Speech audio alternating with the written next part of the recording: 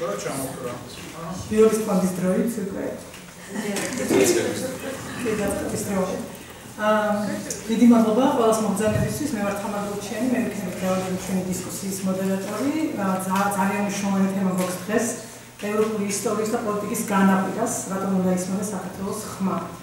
და ჩვენ მართლაც ძალიან კარგი შემადგენლობა გვყავს დღეს სპიკერების ვინმეს რო ეკითხა ჩემთვის რა იქნებოდა იდი ჩემთვის იდეალური შემადგენლობა ზუსტად ეს ხალხი არის და ამიტომაც ძალიან ბედნიერი ვარ დღეს რომ უნდა წარმოგიდგინოთ საუმე ასათიანი პირველ რიგში რადიო თავისუფლების პრაღის ბიუროს ქართული სამსახურის ჟურნალისტი რომლის ბლოგის გლობალური ისტორია და ჩემი ხმაწათმეული ისტორიები გახდა სწორედ ამ დისკუსიის ინსპირაცია. ვისაც აკითხული არ აქვს აუცილებლად წაიკითხეთ. მე დარწმუნებული ვარ რომ დღეს ჩვენ შეგვეძლება რომ ამ ბლოგს ბევრჯერ მივუბრუნდეთ ლაშა ბაქრაძე, გიორგი ლეონიძის სახელობის ქართული ლიტერატურის მუზეუმის დირექტორი, გიორგი მაისურაძე, იბადონო ილიას სახელმწიფო უნივერსიტეტის პროფესორი აგრეთვე და გიორგი მაისურაძე, ამავე უნივერსიტეტის პროფესორი, ირაკლი ხადებიანი, საფშტო წარსულის კვლევის ლაბორატორიის დირექტორი. მოკლედ ძალიან რთულია ჩემთვის ამ თემის წარგენა, იმიტომ რომ მე პირადად მე პირადად ძალიან აა განვიცდი იმ ყველაფერს, რასაც სწავლობ და თავის თავის ბლოგში.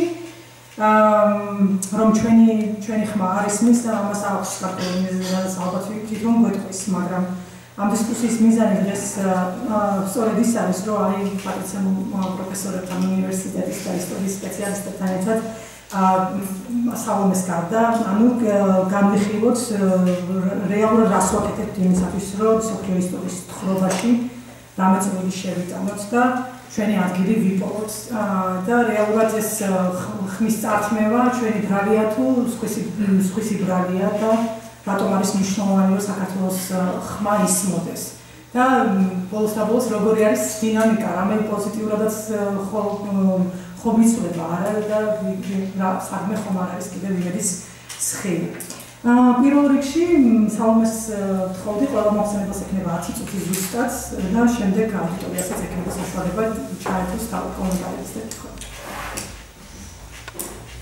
მადლობა ჩაერთო. დიდი მადლობა მომზადებისთვის, თავის წარგინებისთვის, მართლა მოხარული ვარ შესაძლებლობა მომეცა.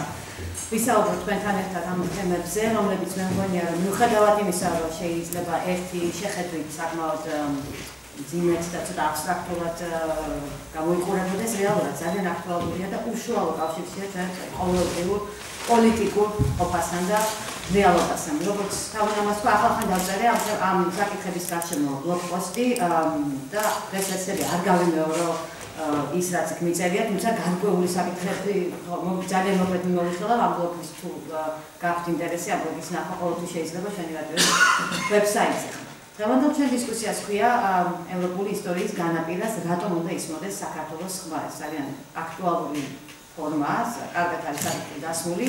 აა თუმცა მე ვთვლი რომ შეიძლება კითხვა ასეც დავსვათ, რატომ არის მის საქართველოს ხმა და ამ კითხვას აქვს რამდენიმე პასუხი.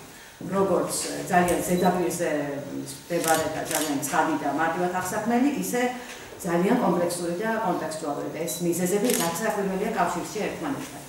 აა დიახ დღეს დასავლეთში პოლიტიკურ წრეებში და კიდევ უფრო მეტად მე ვიტყოდი აკადემიურ სივრცეებში საქართველოს და საქართველოს მსგავსი ტრაექტორია გამოვლილი ეს უკვე პოლიტიკური ტრაექტორია გამოვლილი ქვეყნების ხმა არის ის ან ძალიან სუსტად ისმის. Ну ზედაპირზე გამიზეზებიც არის ამაზე ხშირად საუბრობთ ხოლმე ჩვენ საჯარო სივრცეში ხო რომ დიპლომატია არ გვივარდა სუსტია გეოპოლიტიკური კონjunktურა ჩვენთვის არახელსაყრელი რუსეთის გავლენა და შიშია დიდი. დღეს მართლა ძალიან თვალშისაცემია ეს როცა უკრაინის კრიზისი არის ძალიან მწვავე და უკრაინის კრიზისი მართლაც ის გეოპოლიტიკური ცხელწერილებში ერთ-ერთი მთავარია ბოლო რამდენიმე თვეების განმავლობაში? საქართველოს ამ კონტექსტში თითქმის არავინ არ ახსენებს, რომ რეალურად საქართველოსაც ისევე ეხება და რუსეთის იმპერიული დღევანდელი პროექტის ნეგატიური მხარეები, როგორც უკრაინას და საქართველოს მოსყიდვე გამოიარა არა მხოლოდ 2008 წელს, მანამდეც. მე ვეთანხმები იმ თავრობის იმ კრიტიკოსების მოსაზრებას, რომლებიც თვლიან, რომ ამაში ჩვენი ხელისუფლების და დიდი, ასე ვთქვათ, მათი დრალია. ვინაიდან როგორც მოგეხსენებათ, დღევანდელ მართლ კოალიციას თავის საარჩევნო პროგრამა შეეწერა ციტატა, რომ საქართველოს ფაქტორი აღარ უნდა არსებობდეს დასავლეთსა და რუსეთს შორის წინააღმდეგობრივ საკითხთა ნუსხაში. მოგახსოვს რუსეთთან კი არა დღესაც ვესმის გასპრომის ფონზე რომ რუსეთთან ურთიერთობის ნორმალიზების ილუზიის დამკვიდრება პრემიერ-მინისტრის ინტერვიუ BBC-სთან, სადაც ის ამბიციურ განცხადებებს აკეთებდა, რომ ციტირებ, საქართველოს პრეცედენტს ქმნის და სრულყოფილ ბალანსს პოულობს რუსეთსა და დასავლეთ შორის.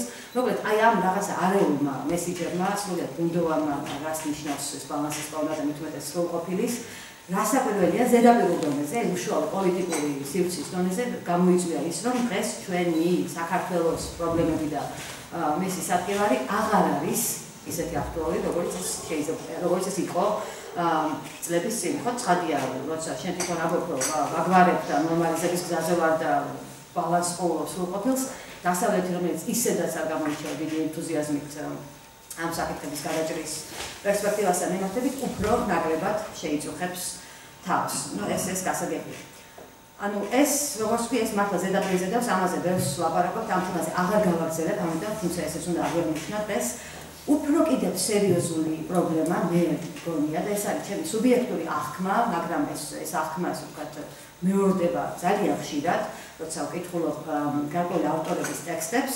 ერთ-ერთი მნიშვნელოვანი წინაღობა საინისოთ რომ საქართველოს და ისევ მეორების არის მარტო საქართველოს ხვედრი იმავე დღეში ყოფი იმავე იმავე ტრაექტორია გამოვლილი ქვეყნების ხმა ისმოდეს დასავლეთში, დამჯერად უკვე აკადემიურ სივრცეში, უკავშირდება გარკვეულ იდეოლოგიურ დისკურსულ ძელს, რომელიც არის ჩამოყალიბებული ამ სივრცეებში და რომელსაც სამწუხაროდ, ჩემდა სამწუხაროდ ნამდვილად ბევრი ძალიან ასე ვთქვათ, გავლენიანი, ძალიან ავტორიტეტიანი და მართლაც ძალიან ღრმა და საინტერესო მემარცხენე მოაზროვნე ქმნის. აი მაგალითად ბლოგში ვწერე ამაზე, რომ წაიკითხოთ ნოამ ჩომსკის ძალიან ხშირად ლაპარაკობს უკრაინის კრიზისზე და ის ამ მთელ კრიზისს აღიქვამს ისეთი ფართო გეოპოლიტიკური რაღაცა თამაშის წილში, რომ ამით დასავლეთი რუსეთს ასუსტებს, როცა ვთქვათ, უკრაინას ასე თუ ისე უჭერს ფარს უკრაინის და დასავლეთისკენ გადახრას. და ეს არის ცუდი. მის ტექსტებში როგორც წესი, ვერ შეხვდებით საკუთრივ უკრაინის პერსპექტივიდან დანახულ რეალობას. რა უნდა უკრაინას, რა უნდა მის მოსახლეობას, რა უნდა მის ხელისუფლებას. ეს არ ნიშნავს, უკრაინის მოსახლეობას ერთი და იგივე რამე უნდა ეს იქაც კომპლექსური სურათი გვაქვს, როგორც ჩვენთან. მაგრამ საერთოდ არის პერსპექტივა, ჩვენი პერსპექტივიდან აღქმული დღევანდელი გეოპოლიტიკური ვითარება მის ტექსტებში თითქმის არ შეხვდება. ну, არ ვიცი, რა შეიძლება სადღაც არის და ჩემთვის ეს სასიამოვნო სიახლე იქნება, მე რაც წამიკითხავ, ძალიან ცოტა იქ გამოკრთება ხოლმე. აქ-აქ ძირითადი აქცენტია გეოპოლიტიკურ მოთამაშეებზე ძალიან ფართო გეოპოლიტიკურ სურათზე დასავლეთსა და რუსეთზე და მის სურვილზე რომ ის ძალიან კრიტიკულად არის გაწყობილი მოგეხსენებათ დასავლეთის იმპერიალისტური გამოცდილების და მემკვიდრეობის მიმართ ისე როგორც დღევანდელი მისი გადავანდელი გამოვლენების მიმართ და მას აქვს სურვილი რომ დასავლეთის და განსაკუთრებით შეერთებული შტატების გეოპოლიტიკური გავლენა დაბალანსდეს რაიმეთი და ეს რაიმე მისთვის რასაკვირველია არის რუსეთი ერთ-ერთი შესაძლებლობა და შესაბამისად მისთვის ეს ეს დადებითი მოვლენაა რომ დაბალანსებული იქნება გეოპოლიტიკური გავლენა და აქედან გამომდინარე ის დიდი მნიშვნელობას აღარ ანიჭებს იმას თუ რა ხვედრიელით ან რა ხვედრიელით იმ ქვეყნებს რომლებიც მოიქცევიან და არიან რუსეთის გავლენის ქვეშ. მათ რა უნდათ მათი ინტერესი რა ზუსტად იგივე სურათი იყო ამაზე ბლოგში 2008 წელს ემანუელ გოლდშტაინის ბლოგში ეს გახლავთ მართლა უდიდესი მოაზროვნე ჩემთვის ძალიან მნიშვნელოვანი იყო ეს ეს ავტორი სტუდენტობის წლებში ის არის ავტორი სოფლიო სისტემების თეორიის ან თვითონ თეორიას არ უწოდებს მაგრამ სოფლიო სისტემები შეისწავლა მან და ის ერთ-ერთი პირველი ავტორი რომელმაც პრინციპში დემისტიფიკაცია მოახდინა ძალიან ფაქტი ისეთი ზედაპირული აღთვლისა, განვითარებული და განვითარებადი და განვითარებელი ჩამორჩენილი ქვეყნების, ესე ვთქვათ, მარტივად დახარის, მაგრამ დავიხარა კომპლექსური სურათი კაპიტალიზმის, როგორც ყოველთვის გლობალური მოვლენის და მან გვაჩვენა, რომ ის რომ რაღაცა გარკვეული ქვეყნები, რეგიონები დასავლეთი არის განვითარებული, ეს უშუალო კავშირშია იმასთან, რომ სხვა რეგიონები არიან ჩამორჩენილი და შესაბამისად ეს არის ერთი თვიანი სურათი. ეს ავტორიც კი რომელმაც ფერცხობა შეავია სწორედ ამ დაჩაგრული ჩამორჩენილად მიჩნეული ყოფილი დასავლეთის ყოფილი კოლონიების ხვედრის და ბედის ვთქვათ კრიტიკას და დასავლეთის იმპერიალიზმის და კოლონიალიზმის კრიტიკას საქართველოს ტრაგედიაზე რასაც წერდა და ეს ბლოკპოსტი გამოქვეყნდა ომის დღეებში 2008 წლის აქაც აი ძალიან საერთოდ საქართველოს რა უნდა და საერთოდ ნახსენებიც არ ქონდა წერდა იმაზე რომ დასავლეთი არასწორად ექცევა რუსეთს ვინაიდან ართმევს მისი გავლენის სფეროს და გაკურიც აი ერთი წინადადება აქვს ნახსენები რომ როცა ფართოვდა ნატოს დავა გაფართოების კლინტონის პერიოდში აღმოსავლეთ ევროპის ქვეყნებს თავად კი უნდოდა ძალიან ნატოში გაწევრიანება, მაგრამ ეს მაინც უდი იყო, იმიტომ რომ რუსეთს დააქეს. აი, მხოლოდ they were themselves anxious to join, I must say. ამ დისკურსულში ხშირად შეხვდებით ერთ ისტორიას, ეს ბლოგში ვერ ჩავატიე, უბრალოდ მიც განსაკუთრებით ჩომსკისთან. თითქოს 1990 წლის სექტემბერში, როცა გერმანიის გაერთიანების შესახებ გაფორმდა ეგრეთ წოდებული ორ-ოთხი შეთანხმება, მას ხელი მოაწერეს ორმა გერმანიამ შეერთებულმა შტატებმა საბჭოთა კავშირმა, ბრიტანეთმა და საფრანგეთმა თითქოს იმ დროს შედგა ეგრეთ წოდებული ჯენტლმენური გარიგება, რომ ნატო ერთი ინჩითაც, ერთი სანტიმეტრითაც კი არ გაფართოვდებოდა აღმოსავლეთით. ამ ისტორიას ძალიან ხშირად ეხსენებენ პოლიტიკოსები რუსეთში, გორბაჩოვს აქვს ხშირად ნახტომიეს ინტერვიუებში პუტინი ძალიან ხშირად საუბრობს ამაზე და ასევე ძალიან ხშირად ამაზე საუბრობენ დასავლელი მემარცხენე ინტერვიუებში. ძალიან ყველას არ ეხება, მაგრამ ისე ჩონცხიფავს ფედერალობაში, რომ დასავლეთმა გატეხა ჯენტლმენური შეთანხმება, დაიშალა ვარშავის ხელშეკრულება, დაინგრა საბჭოთა კავშირი, დათანხმდა საბჭოთა კავშირი გერმანიის გაერთიანებას ამ პირობით ჯენტლმენური გარიგებით, მაგრამ დასავლეთმა უღალატა ჯენტლმენურ გარიგებას. ძალიან აი მეორე მხრივ არის საოცარი რაოდენობა ტექსტებისა, რომელიც სულ დემისტიფიკაციას აკეთებს ამ მითის, უბრალოდ თუნდაც იმ არგუმენტიდან გამომდინარე, რომ ასეთი შეთანხმება ვერ შედგებოდა, იმედან იმ შეხვედრაზე არ იყო წარმოდგენილი ის ძალები, რომელსაც შეეძლოთ ნატოს სახელით რამე დაპირების გაცემა თუნდაც ჯენტლმენების. ამ ვინც იქა იყო ისინი ამბობენ, რომ საერთოდ აღებულა ნატოს გაფართოებაზე ლაპარაკი აღმოსავლეთ გერმანიის გარდა, მაგრამ ეს მითი არსებობს და ამ მითს ძალიან ძალიან ასე ვთქვათ ერთი წუთი დამჭა. ყველაფერი დამჭა საქმე ესე. საუდეული ავტორების სამუშაო მართლაც შეიძლება და ამას აღარ გავდაბი. აა მაგრამ ძალიან მოკლედ ვიტყვი ჩემს საქმეს რომ ეს მოაზროვნეები, ეს ინტელექტუალები არიან რასაკვირველია გამორჩეული ფიგურები, თუმცა ყავს კიდევ ძალიან ბევრი ასეულობით აა ასევე სერიოზული ანალიტიკოსი იქნება ეს აკადემიურ სივრცეში მოღვაწე ფიგურა იქნება ეს ჟურნალისტი რომელიც აი ამ დისკურსულ გველში მოძრაობს რომ დიახ რუსეთს აქვს ლეგიტიმური ისე ვთქვათ, მისი განაცხადი თავის ახლო სამეზობლოზე არის ლეგიტიმური, ვინაიდან თუ შეერთებული შტატები აქვს გეოპოლიტიკურ გავლენაზე ასეთი პრეტენზია, რატომ არ შეიძლება კონდეს რუსეთსა? ჩემი აზრით ახჯერეთი მორალური სიბეცეა სრული, ვინაიდან დასავლეთსა და რუსეთს შორის როცა ღირებულებით განსხვავებაზე არ ახდენ რეფლექსია საერთოდ ეს ძალიან უცნაურია ჩემთვის და ძალიან ინტელექტუალური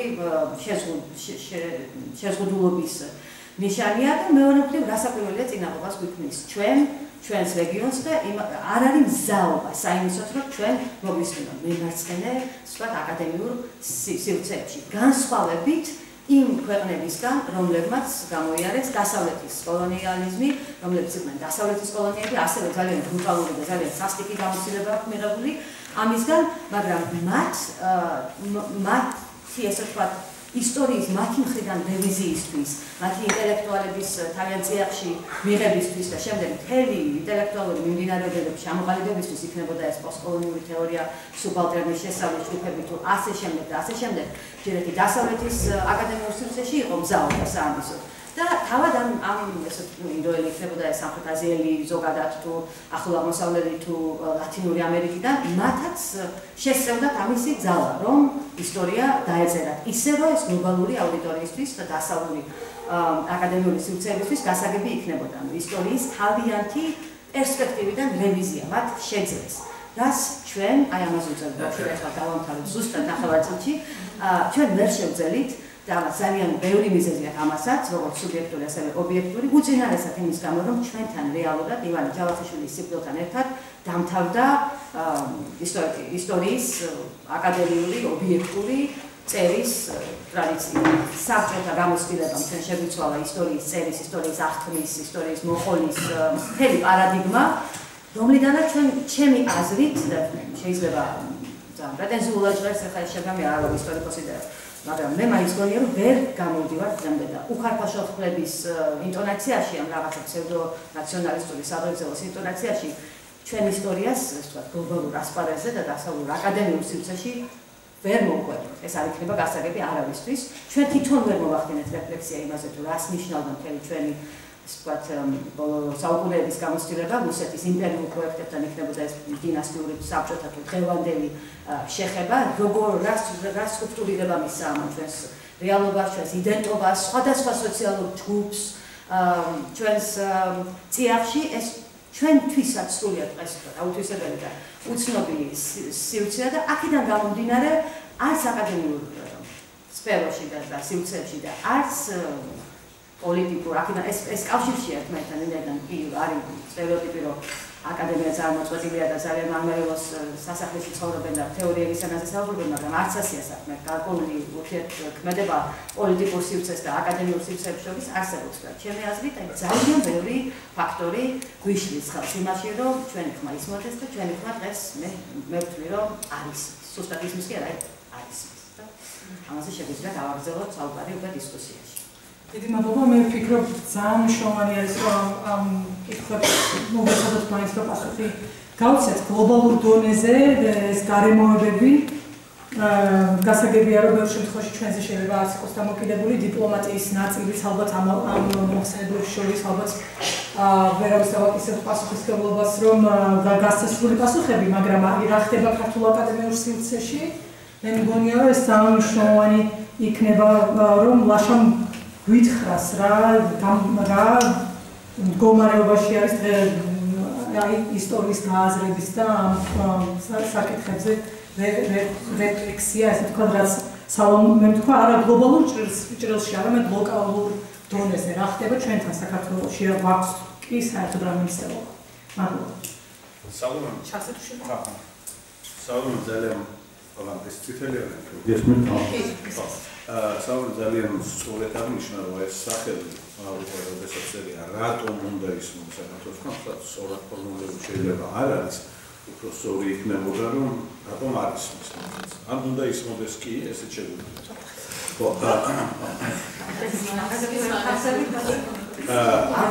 აა ბერე ანუსში აქ იყო ნათქვამი რომ თითქოს უკაზე დაუბრუნდი. ჩვენ სიამოვნებაში შეიძლება უკაზე სრულად ფორმალურად დაუბრუნდეთ, მაგრამ სიამოვნებაში არ დაუბრუნებთ.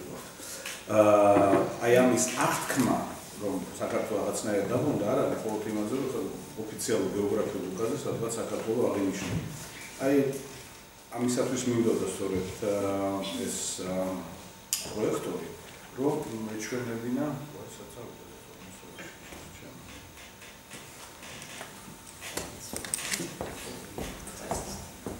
საერთოდ ჩავარდა. აი ორი ესა. ხო. აა შენ ბავშვისათვის ვეძებდი საბავშვო ატლასები უცხოეთში გამოდი ჩვენთან ერაფი არ არის. აა რო როგორ არის საქართველოს გემი ბავშვებს მეყიდა მინდოდა ატლასები და საქართველოს იქნებოდა რომ არ დამჭირდეს ახსნა აი ასეთი დისკუსიის სახით რომ რატომ არ არის საქართველოს უკაზე სინამდვილეში. აი უბრალოდ რამოდენიმე მაგალითი თქვენთვის ახლა ფრანკფურტის უნივერსიტეტზე ვიყავი და გადავიდე რომ გაჩვენო ფაქტობრივად საქართველოს აქტიურებს უკაზეც კი.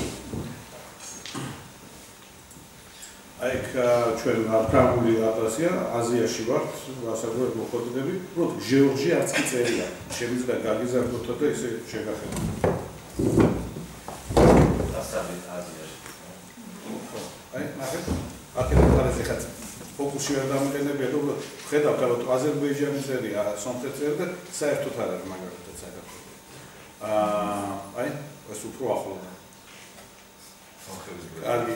ანუ რაღაცა სხვა სხვა რუკა კიდე არაცნაირი ვიტოვებული ხალხი, აქაც მაგალითად ხედავთ, რომ თქვა არაფერი არ. აქ ევროპის რუკის ქვემოთ არის მოხაზული საქართველოს მანამდე იყო მოხაზული, მაგრამ აი ესე ვარაწერია. კარგი ევროპაში არ შევდივართ, ამიტომ შეიძლება ვთქვა, აბატონო აზიის რუკა საერთოდ არ არის. აა აქ ნუ აქ წერია მაინც რომ საქართველოს ამ ადგილას არის, თორე არაფერი ესეთი რაღაცით რომ საქართველოს იდენტიფიცირებული იყოს არ არის. უკეთესი მაგალითებიც გვაქვს, რომ არ წარმოიდგინოთ ძალიან ტენდენციურია, აგერ დროშა საქართველოში. არის კიდევ სხვა უკები, რომელზეც არის საქართველოს სწორედ დროშის გამო, რადგანაც იქ არის ახსნილი, რომ არის რელიგიური, აი აქ უკვე ხანძიანი კაცი ხათია, თქო თურქეთის ტერიტორიაზე, რომელიც საქართველოსთან კავშირშია, კარგია, რომ ხანძით მაინც ხდება ჩვენი იდენტიფიცირება. აი აქ არის მაგალითად, რომ რელიგიური ნიშნებია დადანი დროშაზე და ძალიან კარგი, რომ საქართველოს ესეთი ჯვრიანი დროშა, აგერ არის საფრენ მახამთვალე, აგერ არის დავითის ვარსკვლავი და აი ამის გამო ვარ ახლა ჩვენ არა, არა, საერთოდ სხვადასხვა მნიშვნელოვანი იდენტიფიკატორები და თავისთავად არ არის ცუდი. რაღაც უფრო იდენტიფიკაცია ხდება. სხვაგან არაფერი არ არის, არის ჩემ ბატონ ალბათ კიდე უკვე საერთოდ არ არის საერთოდ. და ასე შემდეგ. უბრალოდ ამით მომიდოდა რომ ლუკაზეც კი ვერ მოხვდით ჯერჯერობით რეალურად. იმიტომ რომ საქართველოსთან არაფერი არ ასოცირდება. აა მე პირამ ჯერ აა მაგრამ ამაში ვინ არის მართლაც აი გავაგზავნებ სადაც დაამთავრა სალონი ვინ არის ერთ-ერთი მთავარი კანონში საქართველოს ისტორია არიცია მაგრამ არიცია იმის გამოც რომ ჩვენ არაფერი არ გავაკეთე ამ მიმართულებით აი თქვენ რომ მოგინდეთ დღეს და წახვიდეთ მაგალითად წინს მაღაზიაში და გინდა თქვა რომ მოიდომოთ საქართველოს ისტორიაზე თქვენ თვითონ რაიმე მიიღოთ რაიმე ინფორმაცია, თქვენ ერთ ეს ცალკე წიგს, რომელშიც ადამიანური ენით მოკლედ ახსნილი იქნება საქართველოს ისტორია, თქვენ ასე წიგს ვერ ნახავთ. ეს არის ერთი მხარე. მეორე არის რომ მართლაც ჩვენი ქართული ისტორიოგრაფიის ღრმა ჩამორჩენილობა, რომელზეც მე გავაგრძელებ საუბარს, მაგრამ მეორე არის ჩვენ ვერანაირად ვერ წარმოუდგენთ ეს საქართველოს საომავლო პერსპექტივა. ჩვენი როლი კაცობრიობის ისტორიაში, ჩვენი როლი აა მომავალში რა უნდა იყოს.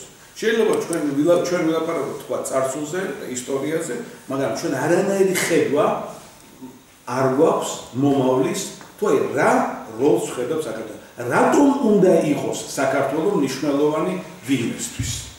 როდესაც ვამბობთ ჩვენ გვინდა ევროპაში ინტეგრაცია, გვეკითხება ეს ევროპელი კი მაგრამ რა რა მოგვიდან საქართველოს ჩვენ ხო ამაზე ჩვენ პასუხი მიუხედავად იმისა რომ აგერ თითქმის 25 წელია ვამბობთ რომ გვინდა დასავლური ინტეგრაცია ასე შემო არ მოგვიძებნია ჩვენთვის ქვეყნის შიგნით რომ თქვა აი ჩვენ გვინდა ამის გამო რომ ვიყოთ ევროპის წევრი და ჩვენ შეგვიძლია ეს შევთავაზოთ მაგალითად ევროპას არაფერი მსგავსი ამაზე ქართველები არ ფიქრობთ ისე როგორც აქვე საერთოდ ფიქრი ვაწუხებსა და გვიჭერს. აა და რაც შეეხება წარსულს, ეს წარსულიც თავიდან გააზრება აუცილებელია რასაკვირველია, იმიტომ რომ თუნდაც ივანე ჯავახიშვილი უნიშნავანესი ავტორია და იმ დროისათვის იყო აბსოლუტურად იმ დროის შესაძლებელი ცემა. მას შემდეგ ბევრი რამე მოხდა. ძალიან ხშირად მესმის ხომ რომ ივანე ჯავახიშვილის აკრიტიკებენ ივანე ჯავახიშვილის გასაკრიტიკებელი არა რაც მან გააკეთა. ის არის წარმოუდგენელი შრომა ერთი ადამიანის მიერ გაკეთებული. წარმოუდგენელი და უაღრესად დასაფასებელი მას შემდეგ მართლაც არაფერი თითქმის არ გაკეთებულა.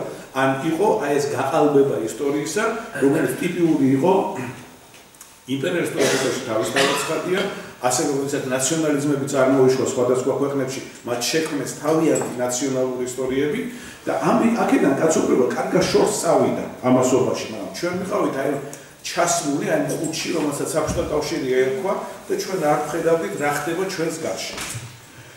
აა ნუ ეს სადღაც ლენინმა თავის დროზე თქვა, რომ ყველაზე საშინელი აა საბჭოეთისათვის არის დიდ რუსული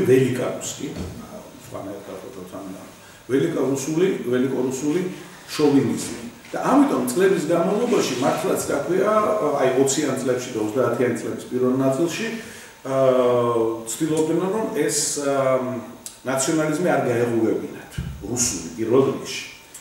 მაგრამ მე სტალინმა დაინახა რომ მას ჭირდება ეს რუსული ნაციონალიზმი და ამის გამო აა დაიწყო განსაკუთრებით ეს ხდება სწორედ აი დიდი ტერორის დროს 37 წლიდან ხდება ამ რუსული ნაციონალიზმის პირდაპირ გაღვივება. და ომის შემდგომ საერთოდ ხდება აბსოლუტურად ყველაფერი რუსმან მე მოიგონა მოგეხსენებათ ალბათ რა ქვია ჩვენ თქვა სწავლობდა სკოლაში რომ ნატურა რუსმან მოიგონა ოთხმოვალი რუსმან მოიგონა რა ქვია რადიო რუსმან მოიგონა და ასე შემდეგ მაგრამ თქვენ იცით ასევე რომ ყველაფრის კოპირება ხდებოდა და ცენტრში ხდებოდა და ასე რომ აი ამ შაუბნელ ნაციონალიზმის კოპირებაც ხდებოდა. და რასაკვირველია ითვლებოდა ჩვენთან პატრიოტულ საქციელად რადგანაც ჩვენ ვეწინააღმდეგებოდით თითქოს ამითი რა ქვია რუსულ ასე ვთქვათ ნაციონალიზმს. და უპირისპირდებოდა. აა ამავე დროს არ უნდა დაგვაუწყდეს რომ მას შემდეგ რაც სტალინმა შეცვალა მთელი მარქსისტული ლენინური თეორია მასთან დაკავშირებით სოფიო რევოლუცია უნდა მოხდარა და როდესაც ჩამოაყალიბა იმასთან დაკავშირებით ახალი თეორია რომ ცალკე აღებულ სახელმწიფოში შეიძლება აშენდეს სოციალიზმი იწება იზოლაციონიზმი რომელიც ისედაც დამახასიათებელია ძალიან ტრადიციულად რუსეთისათვის მაგრამ აი აბსოლუტურ მაქსიმუმამდე აი ეს საზღვრები ჩაკეტილი არავინ არ შემოფრინდება და გრანიცა ნაზამკერო იყო ყველაზე ბედნიერება რაც შეიძლება კაცობრიობის ისტორიაში ყოფილიყო. ეს იზოლაციონიზმი იწოდა რასაკვირველია იზოლაციონიზმის ისტორიაში. მაგრამ სტალინის საშინელი წინააღმდეგი იყო ეგრეთ წოდებული ნორმანდული თეორიისა. აა ხო რომელიც მოგესწრებოდ ვიკინგებმა დაარსეს თქვათ რუსული სახელმწიფო რომელიც მანამდე საკმაოდ გავრცელებული თეორია იყო. და დღემდე რუსული ისტორიოგრაფია ამას ეწინააღმდეგება აა და ამით მაგალითად ის პრინციპში წინააღმდეგ იყო მარქსისა და ენგელსი რომელიც დიდი ნორმალური თეორიის მომხრეები იყვნენ. ეს იზოლაციონიზმი ძალიან მნიშვნელოვანია იმიტომ რომ ჩვენ ქართულ ისტორიას არ განვიხილავთ რაიმე კონტექსტში საქართველოს არის თითქოს იყო რაღაცა რა ქვია კონსული სიგადაში ვიღაცა ტერი მოვა ბოროტ მოქმედი ყოველთვის. ისე იგი ყველა ვინც მოდიოდა ჩვენთან არიან აბსოლუტურად ნეგატიურად წარმოქმნილი მაგალითად საქართველოს საქართველოსში 4 საუკუნის განმავლობაში იყვნენ არაბები. არც ერთი მონოგრაფია ამ ეპოქას 4 საუკუნის შესახებ არ არსებობს. საქართველოს ისტორიის ნარკვევებში არის საკმაოდ დიდი თავი. ამ არაბულზე ქალბატონ მარიამ ბოქტმანის მიერ დაწერილი რომელიც მხოლოდ და მხოლოდ ნეგატიურად განიხილავს ამ ამბავს. აა კარგი, რადგანაც ჩემი დრო ძნელელა იწურება, აა რადგან ცოტა მოხდა ეს 10 წუთი, აა უბრალოდ როდესაც საბჭოთა კავშირი დაიშალა ეს მთელი ეს სოციალურ კლასთა ბრძოლაზე დამყარებული აა ისტორიო ისტორიული მეცნიერებაც მათ დაიწყო დაშლა რუსებმა კიდევ უფრო გაამზაფრეს აი ეს თავიანთი ნაციონალისტური ხედვა ისტორიისა. ნუ აი რამოდენიმე პუნქტს ჩამოვიტვლით, რაც რუსეთში მოხდა, ეს არის მაგალითად წმინდანად გამოცხადებამდე ნიკოლოზ მეორის რაღაცა განდიდება, საერთოდ რომანოვების დინასტიის განდიდება, არისტოკრატიის როგორც წარმოქმნა რო აკარგი რუსეთი იყო ყველანი აქ კარგად ჩაცმულები იყვნენ, კარგად დახურულები, ევროპულად ესვათ და ასე შემდეგ არისტოკრატიისა. მართლმადიდებლობის განსაკუთრებული როლი და ამით ყოველგვარი დასავლურის უარყოფა და ბრძოლა ყოველგვარი დასავლურისადმი კაზაკების აღორძინება, როცა ჭირდებათ სტალინის შეიძლება მკვლელია, მაგრამ ამავე დროს რა ქვია, დიდი როლი ითამაშა, ვთქვათ, მეორე მსოფლიო ომში და ასე შემდეგ. რაც ჩამოთქვა, თვითონ ყველა ჩვენ შეგვიძლია ვთქვათ, რომ აბსოლუტურად არის საქართველოს გადმოგებული. უბრალოდ შეიძლება ნიკოლოზ მეორე არის ხომ არისტოკრატია რომ ძალიან მაგარი არის აქვე ქართული დინასტიები ბაგრატიონები ყველა უკლებლივ იყვნენ წინვალე მეფეები. ის რომ გაქვია მართლმადიდებლობა არის ჩვენი საფუძველი. ის რომ კაზაკები არ ყავთორი კაზაკებსაც არ გაგვაორძინებდი სტალინის გაქვია ახლა სრულის ხდება ჩოხიანები რაც ეყურება ხომ არის არისტოკრატიას უფრო ეხება ხო?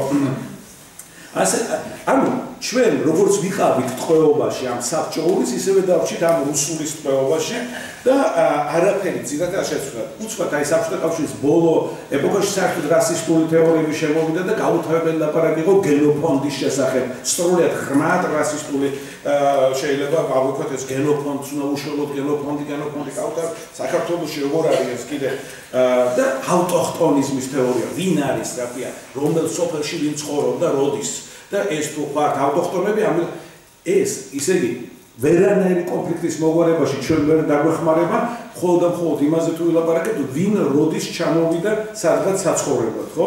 და მე რა ქვია მოგხსენება თემი ქართული ისტორია იმაზე მუშაობდა, რომ ცხ, ყ, ჭ, ანუ ცხუმი ნიშნავს ცხილას. ხო და ამით გვინდოდა დამოკიდებინა რომ რა ქვია სოხუმი არანაირად არ არის რა ქვია აფხაზური ქალაქი და არის ღმად ქართული ქალაქი ეს არანაირად პრაგმატული თვალსაზრისით არ იძლევა საშუალებას არამც თუ კონფლიქტს არა კონფლიქტის გაგების რომ რაიმენაირად დავინახოთ სად არის ჩადებული ამ ეს პრობლემები. და თქვენ თუ ჩვენი პრობლემები ჩვენ თვითონ ვერ დავინახეთ ვერავის ვერ მოვთხოვთ რომ ის დასავლელმა და აბსოლუტურად ვეთანხმები რასაკვირველია სალომეს აი ამ აი ამ დამოკიდებულებაში რომ თქვათ ამერიკის იმპერიალიზმის წინააღმდეგ რუსეთის სხვა პოლუსად წარმოგვიდგენია და ამიტომაც ქვია რუსეთს უნდა გაუგოთა და ასე შემდეგ. ეს არის ძალიან გავრცელებული ამბავი რომელიც კიდევ დამატებით შეგვიძლია ვთქვათ რომ აი დღეს რაც რუსეთთან დაკავშირებით ხდება არის უაღრესად საინტერესო ჩემთვის იმიტომ რომ ექსტრემისტული მემარცხენე და ექსტრემისტული მემარჯვენე ები ერთმანეთს აბსოლუტურად დაემთხნენ თავიანთ ანტიევროპულობაში ანტი ევროპის კავშირის ანტიამერიკანიზმში და ასე შემდეგ. ეს არის უაღრესად საინტერესო მოვლენები, რაც მოწვევი ჩვენ დღეს ხვდებით.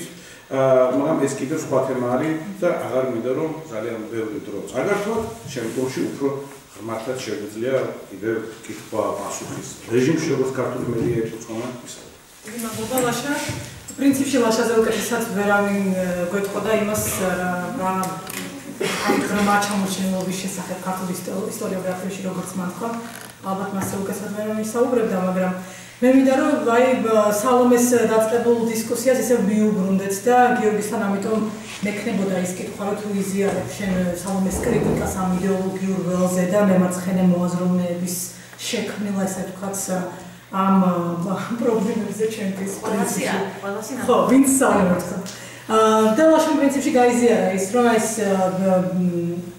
ამერიკის შეერთებული შტატების გავლენის დაბალანსების სურვილი არის თუნდაც ამ ფორმით და მოკლედ არ ვიცი შენ როგორ ხედავ ამ დიდ გეოპოლიტიკურ მოთამაშეებში და ამ ხელოვნურკაზე ბოლოსდაბოლოს ჩვენი ადგილი როგორ შეიძლება? რომ დავიმკვიდროთ. მით უმეტეს შენ ახალ გადმოხედი საქართველოში უკვე და შეგიძლია რომ სხვა პერსპექტივიდან დაგვანახოს ღრმა ჩამორჩენილობა არის. მადლობა რა თქმა უნდა ვიზიარებ და საერთოდ თუ ვიზმეს აზრებს ვიზიარებ ხოლმე სალომე არის სალომე ჩემი ბერგიუსი და მასწავლებელია და ამას ყოველთვის ვის სიტყვას ყოველთვის გასაკუთრებით მიწონა ჩემს ძოხეთში მოგაა აა დაუბრუნდები მაშინ იმ აზრს რომელიც სალომემ წამოაყენა თავის ტექსტში უხმობის უხმობას. და რა როგორ შეიძლება გავიგოთ ეს უხმობა საიდან მოდის და რა რა განაპირობებს? ეს თუნდაც ცდელობა ამაზე დაფიქრების და გარკვეული პასუხების პოვნის გამოგვიყვი ორ ძირითად ასპექტს, რომელზეც დღეს იყო საუბარი სალომესგანაც და ლაშოსგანაც. ანუ ერთი არის გლობალური ასპექტი, ჩვენგან დამოუკიდებელი გარე ფაქტორი, რომელიც საკმაოდ პესიმისტურ ნოტაზე შეიძლება ვაყენებდეს, კერძოდ ის რომ არსებობს ჰეგემონიური საფარო, რომელსაც არაფერ არ აინტერესებს, არა იმ ქვეყნების, იმ ხალხების თუ იმ ერთეულების ბედი რომელთა ფუნქციაც არ არის ჰეგემონიური, ანუ ჩვენ არ მონაწილეობთ ამ ჰეგემონიურ თამაშებში, არ წარმოვადგენთ მის ნაწილს და შესაბამისად ჩვენი როლი არის მეორე ხარისხოვანი, ანუ არანაირი მნიშვნელობა არ ენიჭება არსებობთ არ არსებობთ, ეს ჩვეულებრივად შეიძლება გადატანილი იქნას როგორც ხალხების ისტორიებზე, ვიდან თქვა მიკროსფეროში გადმოვიტანოთ ერთი საზოგადოების სხვადასხვა ფენები.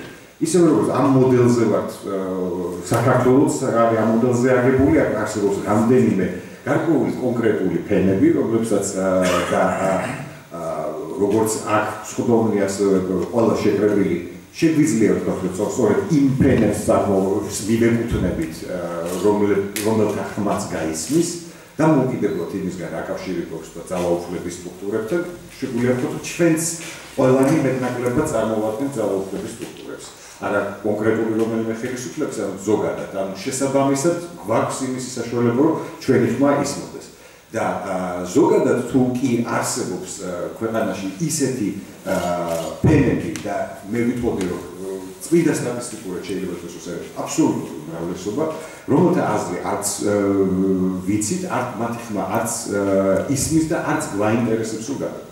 იგივე მოდელი არის ზოგადად თუ გადავიდან საფაროს რუკაზე არსებობს ისევ და ისევ რაღაცა. ჩეული ხალხები, ჩეული სახელმწიფოები და მათ ჩეულობას განაპირობებს სწორედ რამდენად უკავიათ მათ ჰეგემონიური პოზიციები. და ის რაც ინდოეთმა დაიწყო ამ სუბალპინური კვლევების ინდოეთმა მეცნიერებმა რა. ეს იყო სწორედ აი ამ ხელა მილიარდზე დიდ მოსახლეობიანი ქვეყანა შეეცადა რომ საკუთარი ხმა დაეფიქსირებინა და დაეფიქსირებინა იმ იმ ტიპის ხმა რომელიც არა ის ხმა იყო რომელიც მათ ჩასძახეს იგივე ყოფილმა კოლონიურმა ძალებმა.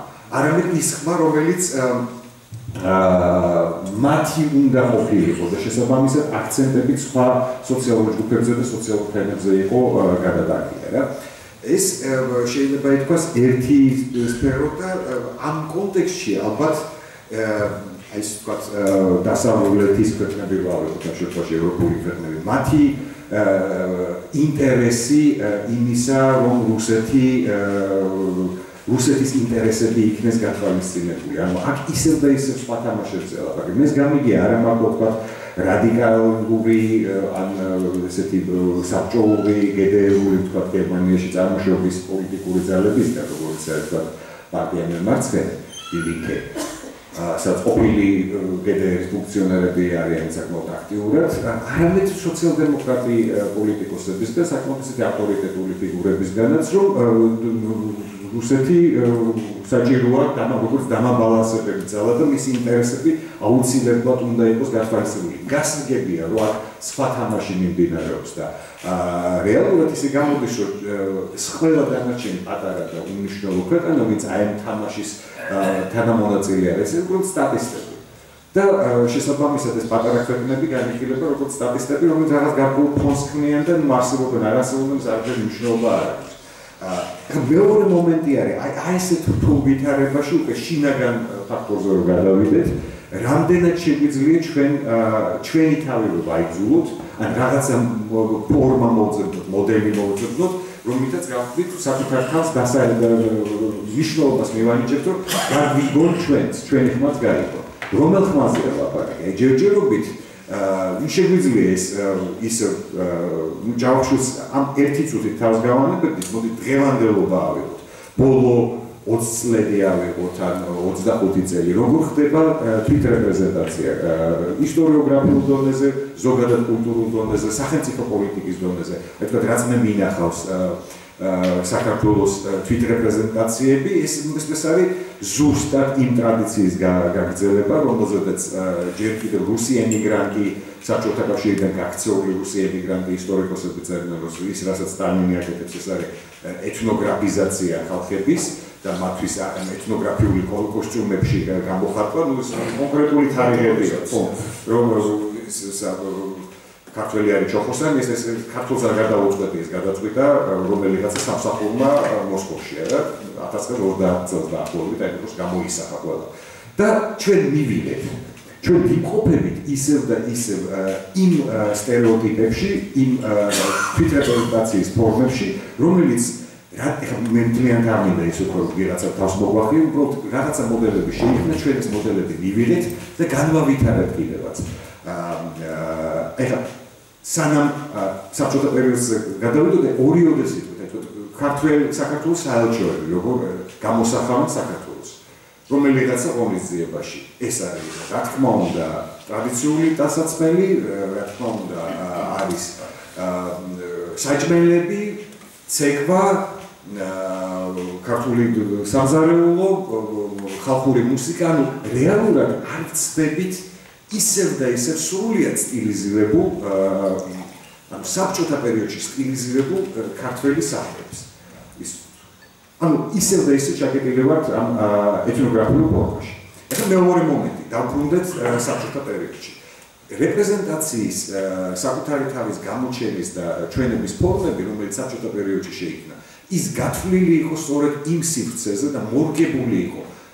იდეალურადაც შეიძლება თუ გავითვალისწინებთ იმ მომენტში 30-40 წლებში რასურს ქართლს რის კომპენსაციას ახდენს ვთქვათ როდესაც ქმნის ნაწილობრივ თვითონ უშუალოდ სტალინის მითითებითაც საკუთარი თავის ფორმებს. ვთქვათ ისტორიული ნარატივი იქნება თუ ზოგადად ისტორიული ნარატივი არა არა მხოლოდ მეცნიერება ისტორია რა ვთქვათ ან ყველაფერი რაც წარსულს უკავშირდება იქნება გარკვეული ფორმები, აი სწორედ ეს უტრირება, გადაჭარბება, რო თქვა იქ პირინეიდან ინდოეთამდე ქართველების იყო დასახლებული ყველაფერი და ასეთი თეორიები, ну შემდგომში უძველეს აი ეს სუპერლატივის ფორმა, ყველაზე მეტად უძველესი, საუკეთესო ძველი, აი სიძველის ფასეულობად ქცევა და მნიშვნელოვნების მინიჭება და ასე შემდეგ. სადაც უარ შევს ხომ მაშინ არის ხოლმე დიდი აუცილებლად. მაგალითად ჩვეულებრივი მაშინ წერია რომ ვიღაცა კაცი მაგალითად ეს კითხვა რაღაცა დიდი ილიას ილიას შეიძლება მართლა ძალიან დიდია მაგრამ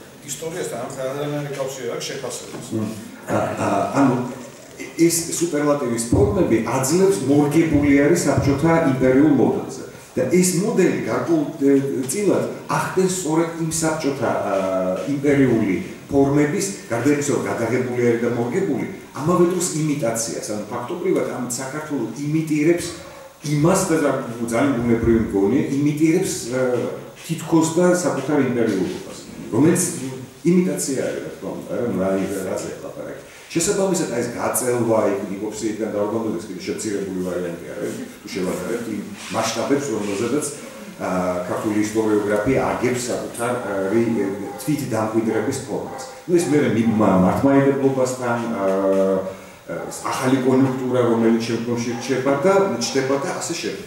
აა ესე იგი, ხო, შესაბამისად, ანუ ჩვენ თავად ვახდენთ იმპერიული თუ შეგვიძლია პარალელურად იმპერიულს პარალელურად ვიხმაროთ კოლონიური, თუმცა საქართველო არ არის კლასიკური გაგებით კოლონია რაც ყოფილა, ამის იმპერიის ნაწილი, სწორედ ამ стереოტიპების რეპროდუქციას, რომელიც რომელსაც მოქმედების უნარი, ქმედიტუნარიანობა გააჩნია, აქვს მხოლოდ და მხოლოდ იმპერიულ კონტექსტში.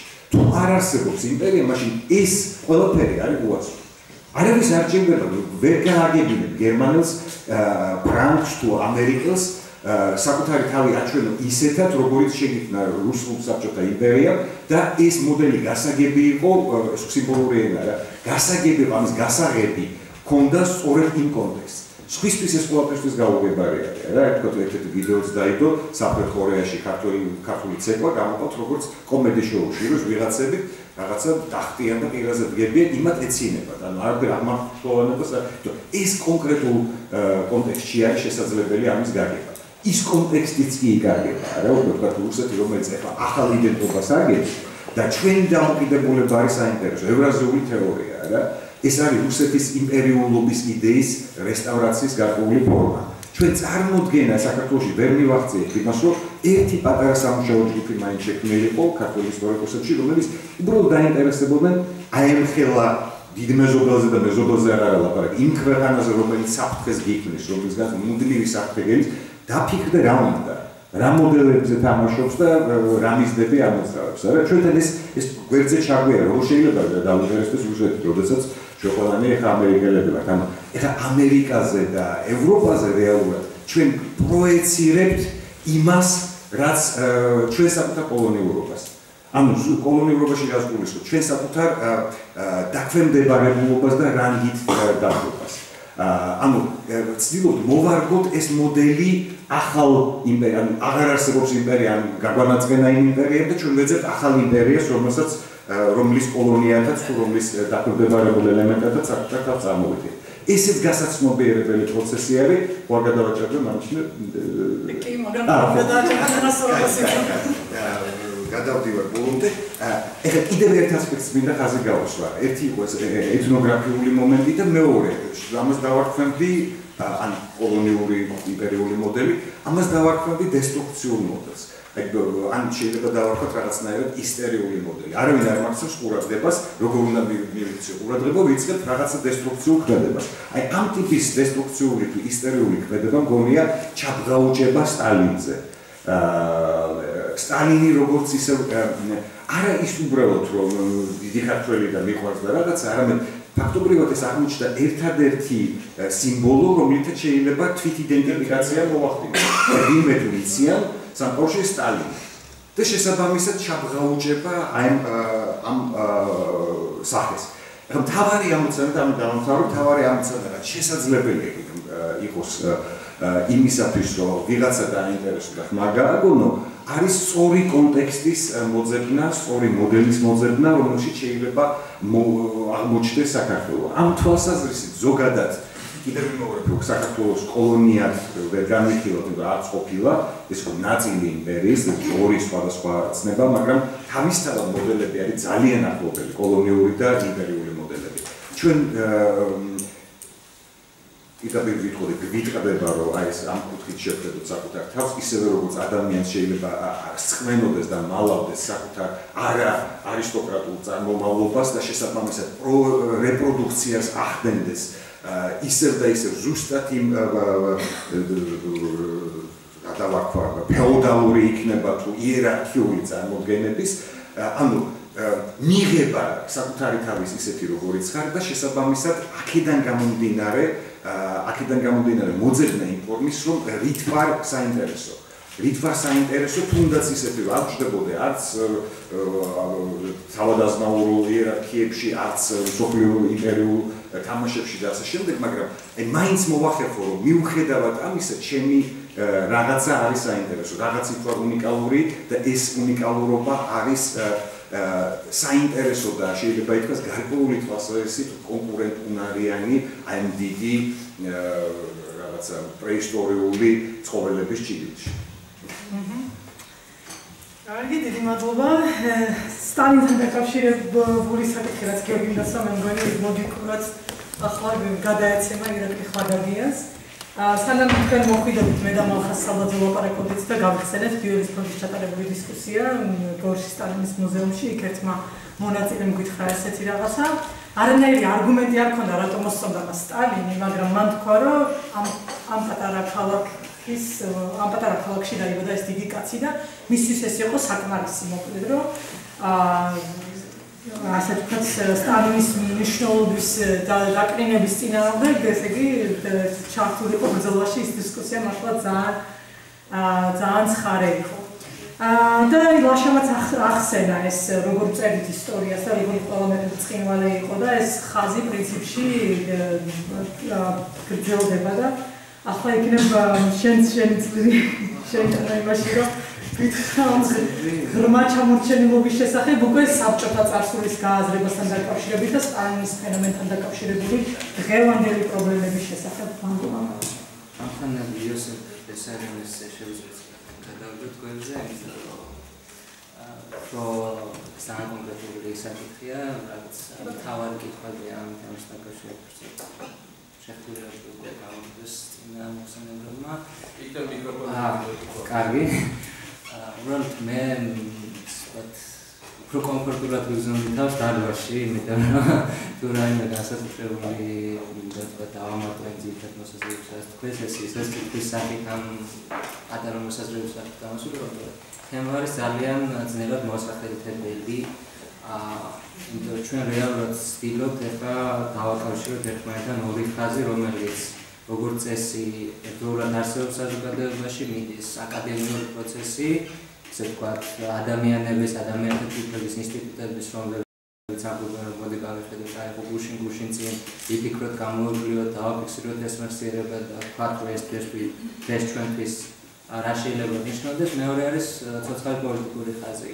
საზოგადოება არსებობს სახელმწიფო არსებობს აქვს თავისი ტყის წესრიგი მოკლევადიანი პროვინციაში ცდილობს შეინარჩუნოს თავისი არსებობა აგებს უამრავ კომბინაციას გამდინარე გარშე სტოკომარეობიდან. ამის გამო ხა ამ ორ ხარს თავისთავად მუდმივად ყოველთვის კონდა გადაკვეთები და სხვა საზოგადოება სხვადასხვანაირად ახერხებს მათ შორის იმპულსების მიმოწვა შეუძლია ეს წარმოადგინოს. უბრალოდ ჩემთვის ახლა ძალიან რთულია აი ამ პროცესის გამარჯვება საქართველოს მაგალითად ჩვენთან რა ხდება იმიტომ რომ ერთი მხრივ ჩვენ მე ამ შემთხვევაში ან მე და რაშა როგორც ერთი ორგანიზაციის წარმომადგენლები ვარ კონკრეტული კლებითი ჯგუფის წევრები ძალიან პატარა ძალიან მცირე რესურსის მქონე რომელიც რომ მუშაობს ბევრს ვერაფერს ვერ ცვლის და როგორც ფიგურალურად იტყობდნენ 19 საუკუნეში, როცა იყო კითხვები მუშათა მოძრაობაზე, რევოლუციაზე, მუშას არ აქვს დრო, რომ დაზვიდა ნასციოს თავი, ოფლის შეიმუშავოს და რაღაც კითხვები დასვას. ეს არის ჩვენი რეალობა სამწუხაროდ, იმიტომ რომ ჩვენს პოლიტიკოსებსაც და მეცნიერებსაც ამ შეიძლება ესე ვთქვათ, თუ კი მართლა მუშაობენ ისე როგორც საჭიროა. ჩვენგან ყველგან აქვს ეს პრობლემა, რომ მას აქვს თავისი ესე ვთქვათ ინტერესის საგანი და მე მოდი და ეს კითხვა რომ კი მე მივდევ ჩემს მუშაობ ქმნით ცოდნას წარსულზე და რა ხდება მე? რაში გჭირდება ეს ცოდნა და ვინ როგორ იყენებს ამ ცოდნას როცა ვამბობ რომ როგორ ხდება ინდუსტრიის მიმოწვა არ ვიცი ეს უბრალოდ როგორც კითხავს თავაზობს საზოგადოება შეუძლია სხვა მოხსენებლებსაც ამის შესახებ რაღაც თავისი შტაბისტირებები გამოთქვას. აა მაგალითისთვის ჩვენ მე პირადად როგორც ასე ვთქვათ აა პერსონალურ დონეზე როდესაც ხედავ ევროპელ პოლიტიკოსებს, სხვადასხვა პოლიტიკოსებს ხედავ თქვა სხვა აა მათ მოკაიფებს თუნდაც ჩვენს პოლიტიკოსებს ვინ არის ეს ხალხი? და რა რომელ ხაზში რა ადგილი უჭირავს? ეს შეიძლება დავსვათ ეს კითხვა. ბოლოსაც მოხსენდება ევროპელ პოლიტიკოსებზე არ ხშირი სკანდალები რაც ეხება მათ აკადემიურ ხარისხს. დიდი ნაწილი ან რაღაც მნიშვნელოვანი ნაწილი მათი არის აკადემიური სამეცნიერო სოციალური მეცნიერებები იქნება ეს ჰუმანიტარული მეცნიერება ამ სფეროდან გამოსული რომელიც არის პოლიტიკაში მუშაობს და დევანდელობას ქმნის ესე ვთქვათ. ჩვენთან რა ხდება ალბათ გაგიჭირდება მოდერნოთ ადამიანი რომელიც არ ვამბობთ რომ ისტორიკოსი იყოს და პოლიტიკაში მუშაობს, ან ვთქვათ რეალური სამეცნიერო ფონი კონდეს. ძალიან მცირე რაოდენობას მათ შორის და მით უმეტეს ძალიან აცდენილია აი ეს პრაქტიკა ცოდნა საკუთარი საზოგადოების ისტორიის შესახებ. რატომ ამბობთ ამ დროს? ვამბობთ რომ ჩვენი ხმა არის მის ჩვენ ამ შემთხვევაში ვხდებით ისტორიული მოვლენების და პროცესების გააზრების პროცესთან დღევანდელობაზე. ანუ ვაკეთებ დაშვებას, რომ ხაზი მე-20 საუკუნე, 21 საუკუნეში გადავაგიჟეთ უკვე, გამოწვევები, პრობლემები, საფრთხეები, ვიარსებებ ჩვენ თუ არა როგორც დამოუკიდებელი სახელმწიფო საზოგადოება ერი გასამოვადგენ ფესრობო წერი არის ასე ვთქვათ ჯაჭვი ლოგიკური ასე ვთქვათ განზოგადი ჯაჭვი რომელიც არის ნაწილი გლობალური პროცესების და ჩვენ ვერ ვახერხებთ. აი საკუთარი თავის წარმოჩენას უფრო კარგად რომ ჩვენ გვაქვს წილი აი ამ დიდ ცვლილებებში და დიდ ასე ვთქვათ დიდ შეჯახებებში იქნება ეს ევროპაში თუ მსოფლიოს აა და საიდან უნდა წამოვიდეს ეს ნო ვინ უნდა გაახმოვანოს ეს მესიჯები მაგალითად გვაქვს მოცემულობა როდესაც ვამბობთ რომ 2018 წლის მერე რაღაცა მესიჯები შეიცვალა პოლიტიკოსები სხვანაირად ლაპარაკობენ საიდან მოაქვს პოლიტიკოსებს აი ეს ეგრეთ წოდებული სპიჩები? გამოდიან ევროპარლამენტის სესია იქნება თუ სტუმა გაეროში და გვაქვს უსახა როგორი ჭიდაობა ვინ იქნება ასე ვთქვათ სტუმარი პრემიერ-მინისტრი თუ პრეზიდენტი არაფერს უნდა გვეხმარება რა თქვა რა მესიჯი მისცა საზოგადოებას, ვინ ვარ, საიდან მოვდივარ და რა გვინდა. ანუ ეს თავისთავად თუ კი მათ არა ცოდნა, ასე ვთქვათ, ჩვენი ერის სახელმწიფოს საზოგადოების თავგადასავალზე უხეშად ვთქვათ, მე-20 საუკუნეში რა გამოვიარეთ, რა დავკარგეთ, რა შევიძინეთ, როცა რა მიგვაქვს ევროპაში, ანუ ეს კითხვები ისმოდა თუ არა, ვიღავით თუ არა ევროპაში უდესმე ან რატო ვაკაკუნებთ ეს ამ კარზე? აი ამ ფორმით წარმოდგენილი ხუთ წუთიან სიტყვაში ან ერთი რაღაცა მხატვრული მარტივი შედარებით ან ისტორიულ ფაქტს გახსნა მოგისმენიათ ოდესმე ჩვენი პოლიტიკოსები და ალბათ ერთადერთი სააკაშვილის ცდილობდა რაღაცა ამ პირველ თქვა, ოღონდ ერთსა და იმავე სიტყვაში ამბობდა ამ მესიჯებს და აგინებდა იმ ადამიანებს ისტორიულ პიროვნებებს, რომლებიც არიან პირველი შემოტანები აი ამ ასე ვთქვათ ევროპეისტული მესიჯების საქართველოს ისტორიულ წარსულში გულისხმობ ადამიანებს, რომლებსაც დააფუძნეს პირველი რესპუბლიკა. ანუ აი ეს ტოტალური განხეთქილება და აცდენა აი ამ ორ ხაზ შორის საზოგადოების შიგნით ანუ სამეცნიერო საზოგადოებრივ პროცესსა და პოლიტიკურ პროცესებს შორის განაპირობებს იმას არც კი ვიცით რა ვთქვა არათუ სხვებს უთხრათ რომ ჩვენ რაღაცა ფონი გვაქვს ჩვენ საიდანაც მოვდივართ როგორც აი მაგალითად რა კითხვაც რა შანდაცვა რა რა მიგვაქვს ჩვენ ევროპაში თუ გამოვიდეთ ევროპაში გვინდა მინიმუმ შევიდეთ. ეს კითხვა ისმოდა 1917 წელს 1918 წელს როდესაც რუსეთის იმპერია გაქრა და უეცრად როგორც ნაციონალიზმი სოკოები ამოცენდა უამრავი სახელმწიფო.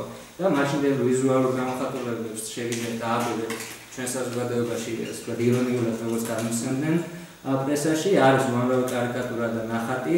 ვთქვათ გადაჭრილი ხე სადაც უამრავი სოკო ამოიზარდა ან არის უზარმაზარი რიგი ბავშვების და ევროპა როგორც ძიძა ან სოკოების შემგროვებელი დგას და აქვს თავსატეხი რომ ბინარიან და რა უნდა. აქ იყო დიდი რუსეთი გაქრა დაინგრა მოჭრეს გაიფანტა და არის უზარმაზარი რიგი უცნობების რომელსაც აწვია თითოეულს თავისებურად და ეს შემდეგ როგორ გადამუშავდა ეს ვიზუალური პარამეტრები ითქვა და რა უნდა და ვის უნდა ჩაავლოს ხელი და წაიყვანოს თავისთან. და ჩვენი მხრიდან ამ პატარა ბავშვების ან ახლა აღმოცენებული სოკოების მხრიდან და მუხის შედარება რა იყო ზუსტად ესეთი ფორმულა მესიჯი რომელიც ნოეროდანიან ესე თქვა ესე საზეიმო წარმოთქვა რომ გვეკითხებიან რა მიგვაქვს ჩვენ ევროპაში ჩვენ შეგვიძლია უყოსოთ მიგვაქვს 3000 წლოვანი კულტურა ჰუმანური რეგულებები რამდენიმე შესაძლებლობების არიან კულტურული მემკვიდრეობიდან დავრჩა და ცოცხალი დემოკრატია იმიტომ რომ პოზიციონირება ქართული საზოგადოების მაშინ ვთქვათ, ევროპეისტული ხაზის იყოს, რომ ჩვენ ვართ განხორციელებული დემოკრატიული, სოციალ-დემოკრატიული სახელმწიფო, უნიკალური მოვლენა და ჩვენი დღევანდელობა, ჩვენი მიმდინარე პოლიტიკური პროცესი არის საინტერესო თქვენთვის, რომ შეხედოთ, რომ მუშაობს ეს მოდელი თუ არ მუშაობს. ანუ ეს არის სამწუხაროდ თუ საბედნიერო სპირალური განვითარება ჩვენ საზოგადოების დღეს ისმის დაახლოებით იგივე კითხვები დღეს დგება დაახლოებით იგივე გამოწვევები. ისე კონკრეტული ისტორიული მაგალითს მოვეყვან იმავე ასე ვთქვათ ჩვენი საზოგადოების მასშტაბმა ლიდერმა ერთ-ერთ სხდომაზე გამხსნელი კრების თქვა ესეთი სიტყვა რომ დღეს ვიკიჟინებენ რომ თქვენ ხართ მოკავშირეები იმპერიალისტების რომ გახდით უღალატეთ პრინციპებს გამერაკეა სოციალისტები და სოციალ-დემოკრატები და გახდით რაქიები დასავლური იმპერიების იმპერიალური სახელმწიფოს და ვინ სვამს ამ სამსკითხვას სვამს ბოლშევიკები, რომლებიც ამ დროს უკვე გამეფდნენ რუსეთში. დიახაც არის ესეთი პასუხი, ჩვენ გვირჩევნია ევროპელი იმპერიალისტები აღმოსავლეთის ბარბაროსობას. ეს პოლიტიკური მესიჯი არსებობდა. მას შეიძლება გავავლოთ პარალელი, როცა დღეს ისმის კითხვები, რომ რა გვინდა, გარყვნილი დასავლეთი თუ ასე ვთქვათ, ერთმორწმუნე რუსეთი. ანუ სასაცილოა ხა ესეთ შედარებები, იმიტომ რომ ხედავთ რომ რა მარტივი ასე ვთქვათ კონსტრუქციები მუშაობდა მაშინ და როგორ ასე ვთქვათ ჩვენ წინ გას დღეს ზუსტად იგივე გამოწვევები. უბრალოდ იცის ამაზე პოლიტიკურმა კლასმა შეგვიძლია ვთქვათ, ან არ იცის, ან ინტუიტიურად გძნობს თუ არა გამოწვევის ასე ვთქვათ მასშტაბს და სიცხადეს, ეს ღია კითხვაა და თითოეულმა შეიძლება მარტივად შეხედოთ და წარმოვიდგინოთ. ამიტომ რომ პოლიტიკურ დონეზე ჩვენ არ გვაქვს მესიჯი შემუშავებული, რომელიც მიდის უბრალოდ ამ ხასთან, რომ ჩვენ გვაქვს რაღაცა ლოგიკური განვითარების ხაზი, მივისწრაფოთ საერთოდ შემდეგ ეს შეხედვა ეხლა უნდა დაუბრუნდეთ ჩვენს ადგილას. ამ ამის გახმოვანებას ვერავინ არ ახერხებს. მეორე მხრივ ეს არის არაპოლიტიკოსების პარი, არამედ არის თვითონ საზოგადოების პრობლემა, ვინ უნდა შექმნას ეს ცოდნა? ვინ უნდა იკითხოს ამის შესახებ? დაშვას კითხვა და აზრას დისკუსია. რა თქმა უნდა, თითოეულმა ჩვენგანმა ვინც აქვს ხედვა და არ მხოლოდ ისინი, ვინც აქ დარბაზში არიან წარმოდგენილი. უბრალოდ თვითონ საზოგადოების შიგნით არ მიდის თქვა აქტიური პროცესი წარსულის კრიტიკის თვალით დანახოს. კრიტიკის იმიტომ ამბობთ, რომ აა როდესაც ამხას მივიძებთ, ეს არის გამოცდილების ჯაჭვი, თავისთავად უნდა შევხედოთ. როგორ მიდიოდით, რა შეცდომები დაუშვით და რა შეიძლება გამომოქეს ეს გამოცდილება. და ფაქტი არის ის, რომ ეს პროცესი არის ძალიან სწორად დარი, არავინ არ მუშაობს და მით უმეტეს შემდეგ არავინ არ ცდილობს, რომ ეს ცოდნა შეაჩეჩოს, აიძულოს, ასე ვთქვათ, თავში ჩაუტენოს პოლიტიკოსებს, რომ უთხრას, რომ ეს ახალი გამოწვევა არ არის, ასე იყო საკითხი 80 წლის წინ, 100 წლის წინ და ბევრი არაფერი შეცვლილი და შეხედეთ გაიზიარეთ ეს გამოცდილება. შეახსენეთ ეს ევროპელ თუ დასავლელ ასე ვთქვათ პარტნიორებს თუ ვთქვათ დიალოგის ფარეებს რომელთაც შეიძლება უფრო უკეთესი ცოდნა კონდეთ ამ წესური შესახებ ვიდრე თქვენგან თქვენგან ეს არ არის. მეორე მხრივ არ არის ეს იმის გამო რომ თვითონ საზოგადოება არის ძალიან ჩაკეტილი და ასე ვთქვათ შიშებით სავსე რომ თუნდაც გუშინდელ დღეზე რაღაც უსიამოვნო კითხვა დასვას.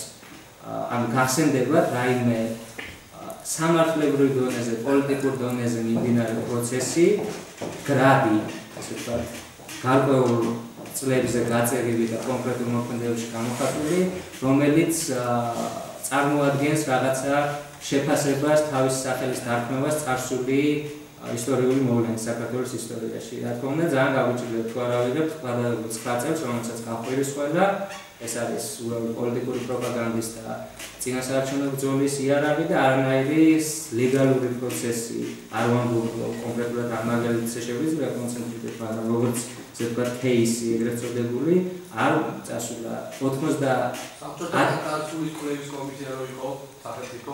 იცით რა შედეგი რაიმე რა შეცვალა რამე ამ მილისტრატეს აქვია. რა და შეხვედრაზე წოიყო და რა შეცვალა ლეგალურ სამართლებრივ პოლიტიკურ დონეზე. ვიცით, რაზეც არის საუბარი დისკუსიაში. უბრალოდ ორ წუთში დავამთავრებ, რატო ამბობ ამას? ანუ ყოველ ჯერზე ობიექტური რეალობიდან გამომდინარე, როდესაც შეიძლება იყოს დრო, რომ უკან მივიბრუნდეთ და მივიხედოთ და ვიფიქროთ შეცდომაზე და წარმატებაზე რა არის დასკვნა გამოვიტანოთ, ხდება ახალი საშინელება, ახალი ტრაგედია, რომელიც გვაიძულებს რომ გადავეცოთ ხევანდელობაზე, შემდეგ გავა დრო და როცა უნდა ვიფიქროთ აი ამ ახალ ტრაგედიას, კიდე ახალი საშინელება ხდება, ჰელი 91 წლის შემდეგ თუ ცოტა წინ უნდა დავეცოთ დათოს, ეს არის ჯაჭვი, სამოქალაქო ომების, ეთნიკური ომების, ქაოსის, სახელმწიფო გადატრიალების, რევოლუციების, კიდევ ომების თუ ერთ-ერთ ეტაპზე ჩვენო საზოგადოება ხალხმა ვერ მოახერხა, რომ ეს გადაეყვანა რაღაცნაირად, ასე ვთქვათ, სამართლებრივ და ასე ვთქვათ, ლეგალურ პროცესად.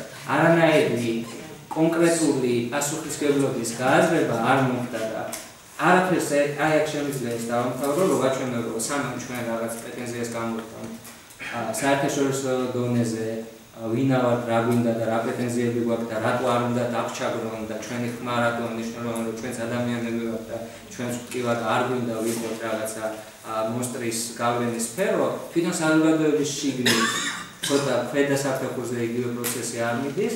აი ბატონ ოლივერთან ერთად დისკუსიას დასწრება ჩვენ გამოვედით ვაკედან უნივერსიტეტის შენობიდან და რა შეიძლება სწრაფად რომ მოსულიყავით დანიშნულების პუნქტთან გამოვიარეთ ვერეს ხეობა სააქსით ისმის კითხვა რამდენიმე თვის წინ მომდარე ტრაგედიის შემდეგ იცით რა დაემართა იმ შეწირულობებს ფონდებს რომელიც საზოგადოება უცებ გაიღო დაზარალებულების დასახმარებლად ეს ერთი საკითხია. იცით დადგა კონკრეტული ადამიანების პასუხისმგებლობის საკითხი რომლის აა ვის გამოც აი ეს ტრაგედია მოხდა არ დამდგარა. ფაქტი ჩვენ გამოვიარეთ აღდგენილ გზაზე აი ხეობაში რომ მოსულიყავთ აქამდე რომელიც ისეთივე საათი არსებობს როგორც იყო ეს ტრაგედიის წინ. ხვალზე ერთი წლის მერე 5 წლის მერე 10 წლის მერე საზოგადოება დაივიწყებს რომ დინარე ვერეს ახასიათებს ბუნებრივად ეს ლოგიკური პროცესია 53 წელიწადში ერთხელ წარმოარდნა 3 წლის შემდეგ ადამიანები კიდევ დაიწყებიან მეფეობაში. ნამდვილად კიდე დაიყვანენ გოფირებულ მილებს. არის გზა არსებობს 99% გზის არის გამდაგუნარიანი და ისეთი რომაროება შეუძლია ეს იყო ეს არის უბრალოდ ილუსტრაცია ჩვენი პროცესის. არ უნდა კონდეს ჯერჯერობით პრეტენზია ვერ გვექნება იმიტომ რომ რაღაცა რომ თქვა, რაღაცა მესიჯი რომ რომ უნდა დაწუნებული ეს არის ის რაც ჩვენ ვთქვით. კარგი, საუბარი. ძალიან დიდი მადლობა, ძალიან საინტერესოა ჩემთვის მოსალის მოსულა. გასაგებია, ერთი რამ მინდა რომ დავამატო. არა თუ პოლიტიკოსები არ უსმენენ ისტორიკოსებს, თუ ვინც არის ისტორიკოსები, ძალიან ხშირ შემთხვევაში ჩვენთან პოლიტიკოსები პოლიტიკოსები უქმნიან წინაღობას დისკურსულ რაღაცა ცენზურას უწესებენ პოლიტიკოსებს სწორედაც მინდა რომ ჩვენთან ისეთი ველია შექმნილი ხშირად იდეოლოგიური რომ ძალიან დიდი გამბედაობა დაჭირდება ისტორიკოს რომ დაწეროს ობიექტური კრიტიკული ანალიზი იქნება საფხაზეთის ომი იქნება სამოქალაქო ომი მით უმეტეს 2008 წლის ომი თუ იგივე საბჭოთა ოკუპაცია რომელიც ბოლო წლებში დამკვიდრდა სწორედ ამ საკითხზე, ეს იყო მხოლოდ ოკუპაცია და მეტი არაფერი და თქვა აქ რაღაცა თანამონაწილეობასთან არ ქონდა საქმე. ანუ ესეც არის ერთ-ერთი მნიშვნელოვანი პრობლემა, რომ ჩვენს რეალობაში პოლიტიკური ძალაუფლების ცენტრები, მათ შორის პოლიტიკური, მათ შორის რელიგიური და აი აქ რაღაცა შექმნილი ნაციონალისტური ველი და კულტურული კოდები უშლიან ხელს, იგივე შეიძლება მეცნიერ ძალიან აქვს უნდოდეს, მაგრამ რაღაცა გარკვეული ცენზურის ქვეშ იყოს აქედან ამ ფაქტორებიდან გამომდინარე. ეს ძალიან დიდი პრობლემაა, მესახება თუ ლოკალურ კონტექსტში ვაბარაკობ ჩვენ შეიძლება მეც დავუმატებდი ერთიანობას ისტორიასთან მეგოდი სანამ დისკუსიას გავხსნით და აუდიტორიასაც ჩავთვალთ ამ ამბავში რადგან სალომეს ბლოგი იყო ამ დისკუსიის მიზეზიც. მე სალომესთან მინდა მე თვითონ დავსვა ესეთი კითხვა. გიორგი მაისურაძე თქვა ესეთი რაღაცა. რომ ამერიკაზე და ევროპაზე ვაკეთებ პროექციებას უკვე ჩვენი დაახლოებებისო და რაღაცნაირად რამდენად სამართლიანად მიგაჩნია აი ასე ამისიდან ახლა მით უმეტეს შენ დასაწყისში თქვი რომ არეული მესიჯები გვაქვს რაღაცა და პრემიერ-მინისტრის ციტატაც ციტატაც მოიყვანე. აა შენ ეთანხმები გიორგის ამაში და საერთოდ თუნდაც ფიქრობ რომ ინფონზე როდესაც რუსეთის რბილი ძალა ესე თიმზლავრია უკვე საქართველოში იგივე ევაზიული მაგალითად კვლევები გავაკეთეთ რომ გავიგოთ ბოლოს და ბოლოს ამ რუსეთს რა უნდა. შენ ფიქრობ რომ ეს დრო დადგა საქართველოში? მე ფიქრობ რომ გიორგის ბოლო დრო არ იყო ეს ძალიან მნიშვნელოვანი პრობლემა განეცო და მე ზუსტად მესმის ის რასაც გულისხმობს ის გულისხმობს იმას რომ აქედა ერთი ძალიან დიდი სფერო რომელსაც საერთოდ მეც ვერ შევეხებ ბლოგში იმიტომ რომ ბოლოს 400 სიტყვიან ბლოგს ვერ დავწერდი მაგრამ სხვათა შორის ვისარგებლებ შემთხვევით და არასკევს ილიას უნივერსიტეტში იქნება კონფერენცია სადაც დაახლოებით იდენტურ თემებზე იქნება საუბარი, ოღონდ გასაკვირველი უფრო აკადემიურ კონტექსტში და იქ მექნება საშუალება ამაზეც ვისაუბრო მოხსენება ჩემს მოხსენებაში. დიდი მადლობა გიორგის და ყველა ორგანიზატორს საამისოდ და თუ გაინტერესებს Facebook-ზე შეიძლება ინფორმაციის მოძიება. მე როგორც ვენე გიორგი გულისხმობს იმ ფაქტორს რომ დღევანდელ სამყაროში არ მხოლოდ დღევანდელში არსებობს გარკვეული ცივილიზაციური ეს ვთქვათ დაყოფები თუ კლიშეები არსებობს ევროცენტრიზმი არსებობს ორიენტალიზმი არსებობს სწორედ ის რაღაც აღმოსავლეთი არის ბარბაროსი და ჩამორჩენილი და განუვითარებელი და დასავლეთი არის განვითარების რაციონალიზმის ცენტრი და ასე შემდეგ. ამას თავისი ისტორია, ესეც ძალიან მჭიდროდ უკავშირდება კოლონიალიზმს, ვინაიდან მოიხსენებათ კოლონიალიზმთან ერთად დასავლეთმა არ მხოლოდ უშუალო მატერიული უპირატესობა მოიპოვა და რესურსები წამოიღო კოლონიებიდან, არამედ მოიპოვა ეპისტემოლოგიური უპირატესობა. დასავლეთმა დაიწყო სოდნის წარმოება კოლონიებზე. დასავლეთიდან გამომდინარე და მისი ეთნოგრაფებიდან თუ მოგზაურებიდან თუ სხვადასხვა სფეროს წარწერებიდან გამომდინარე შეიქმნა შემდეგ წარმოდგენა თელ ალბათ მსოფლიოში იმასე თუ რა არის ახლა აღმოსავლეთი როგორია ინდოეთი როგორ სად არის ინდოეთი განვითარების მსკალას ვთქვათ ბრიტანეთთან მიმართებით და ასე შემდეგ. ამ თვალსაზრისით ბლოკში სუბალტერნულობის პრობლემაზე ვსვაპარებ ხო უხმობის ძალიან დიდი ხნის განმავლობაში თავად ეს კონტექსტები რომ ისე ვთქვათ, ორიენტალიზმის მსხვერპლი კონტექსტები მართლაც უხმო უხმონი იყვნენ. მათ თავად არ შეეძლოთ არც საკუთარ თავზე ცოდნის გავრცელება და მით უმეტეს მათი პერსპექტივიდან დაახლოებით დასავლეთის, მათ ეს რეპრეზენტაცია ვიღაცაზე ლაპარაკი, ვიღაცის სახელით ლაპარაკი თავისუფლებ თავისთავად ძალაუფლების ფლობას ნიშნავს. ყველას არ აქვს საშუალება, უმცირესობას, როგორც წესი, ძალიან ცოტა საშუალება აქვს ამისად, რომ ისაუბროს უმრავლესობაზე, ლოკალური კონტექსტი იქნება თუ გლობალური.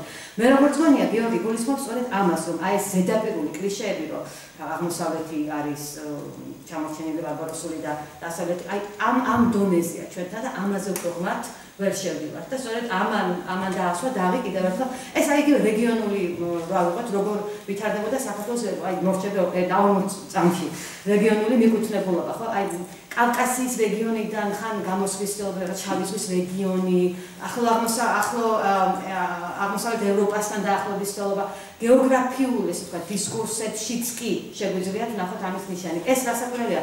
არ ნიშნავს არანაირ ონტოლოგიურ ჭეშმარიტებაზე საუბარს. რაღაც ჩვენ ამ არ ვამბობთ იმას რომ ეს ან სიმართლეა ან არასწორია რომ ეს მართლაც ასე არ არის თუ არის ცივილიზაციური დაყოფა ეს უბრალოდ ედვარდ საიდიდან გამომდინარე ვიცით ამის შესახებ რას ნიშნავს ორიენტალიზმი ორიენტალისტური დისკურსი და ზედაპირული გაგება ამისი. და ზედაპირულად თორე საქართველოს უძველესი ევროპელია და შესაბამისად მე ზემოდან ყურება თქვა იგივე ჩვენ უმცირესობებზე ისლამზე და მუსლიმებზე ჩვენ სიახში ეს ყველაფერი ესე ვთქვათ, არსებობს ერთ-ერთი ტერმინი პეტი ორიენტალიზმი. სირები, ტირაჟირება ხდება ამისი ყველა კონტექსტში, იგივე აღმოსავლეთ ევროპის კონტექსტში ამას ამბობი რუმინელი როგორ და უნგრელი როგორ ყოფილა, რუმინელს რუმინელი ასე ცენტრალური ევროპა როგორ ყოფილა და აღმოსავლეთ ევროპას ეს გლობალური ნარატივია, რომელშიც შემდეგ პატარა ნარატივები არსებობს, ოღონდ იდენტურ მნიშვნელობას ატარებს. მე მგონია რომ გულისხმობდა სწორედ ამას. ზედაპირულ გაუაზრებას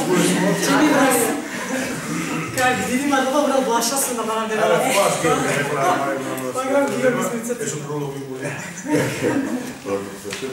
უნივერსიტეტი და კონკრეტები გასული სხობდი. პირველი შეიძლება ითქვას უფრო მეტაფორული თუ ალეგორიული ფორმით ცოტა კონტექსტიდან თუ სუბალტერნობის დისკურსიდან ამოგლეჯვა და სხვანაირი მნიშვნელობით ხმარება.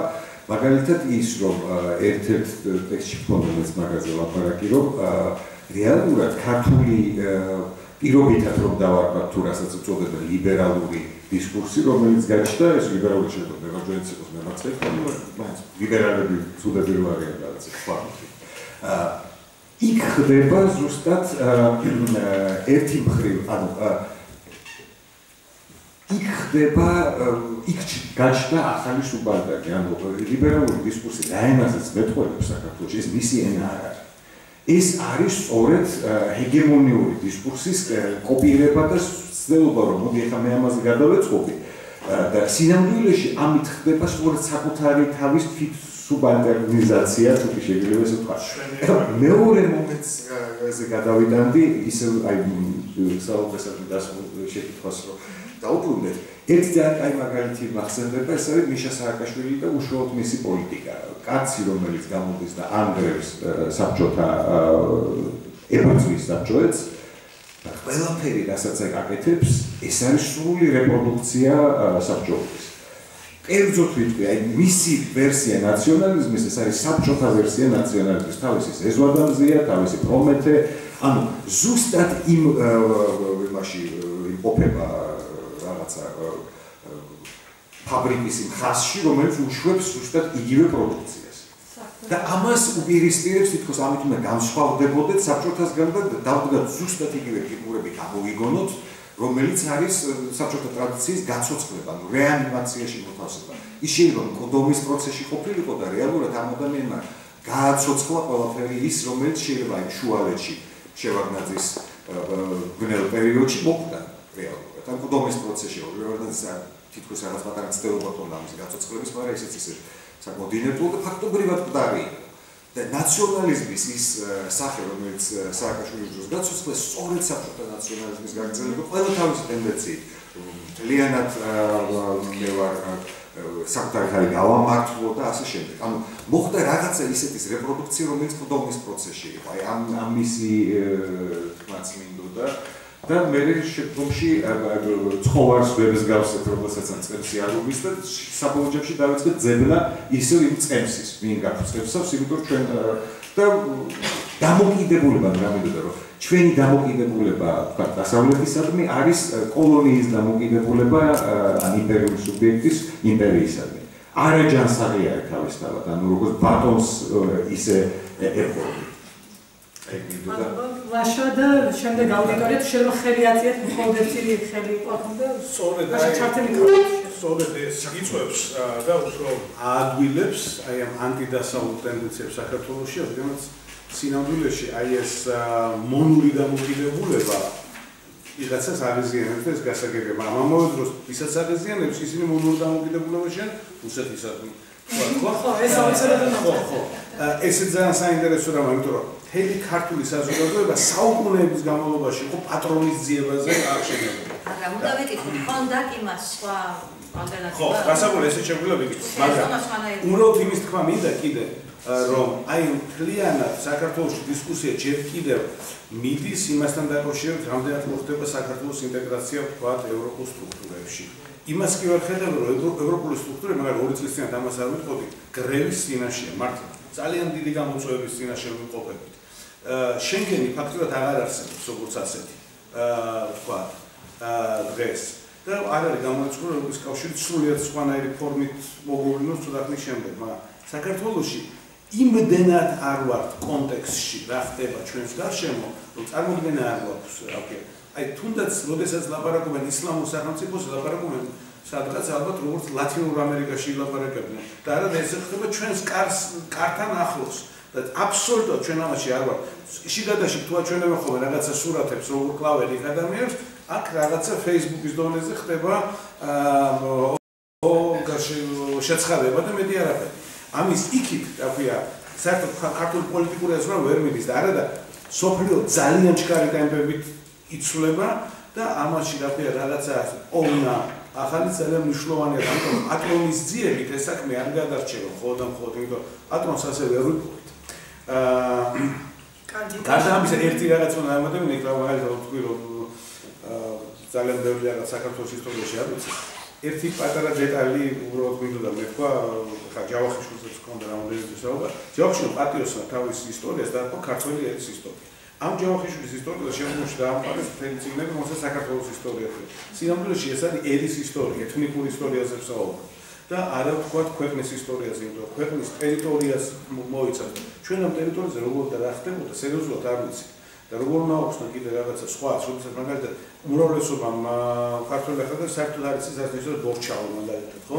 აა იმიტომ რომ ვიცით რომ ეს არ ეხება ჩვენ ეთნიკური ისტორიას, ერთი შეხედვით არის ძალიან მნიშვნელოვანი რომ სამხრეთ საქართველოს რატო ერქვა ბორჩაო აგერ სადღაც 30-იან წლებამდეც კი, ხო? აა ასე რომ გაქვია, აი ესეც კი ვერ გავაკეთეთ ჩვენ გქონდეს ტერიტორიული ისტორია.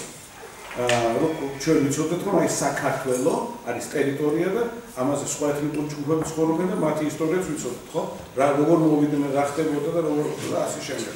და არა მithქვათ ეს ყველაფერი მხოლოდ და მხოლოდ იმ დისკუსში რომ ეს არის გაქვია ვიღაცამ ტერი მოვიდა და ჩამოსავალ სახში. აი დიდი მადლობა ბაია ვიცით ამ უნდაობა მოგესალმებით. დიდი მადლობა. აა მაგათ ეცოდა ემოციური ტემპერატურას მომწევი გავიარა. ერთი ხრი აა დისკუსიის დროს საუბრობდით ჰეგემონიურ დისკურსზე და ორიენტალისტებს ხაჭარ საუბარად ლაპარაკა, მაგრამ მეორე თუ მოხსენებლების მხრიდან მუდმივად ხდებოდა ის ტერმინების გამოყენება, როგორც ეს ჩამორჩენილობა, როგორ უნდა მოვაწონოთ ევროპელებს თავი.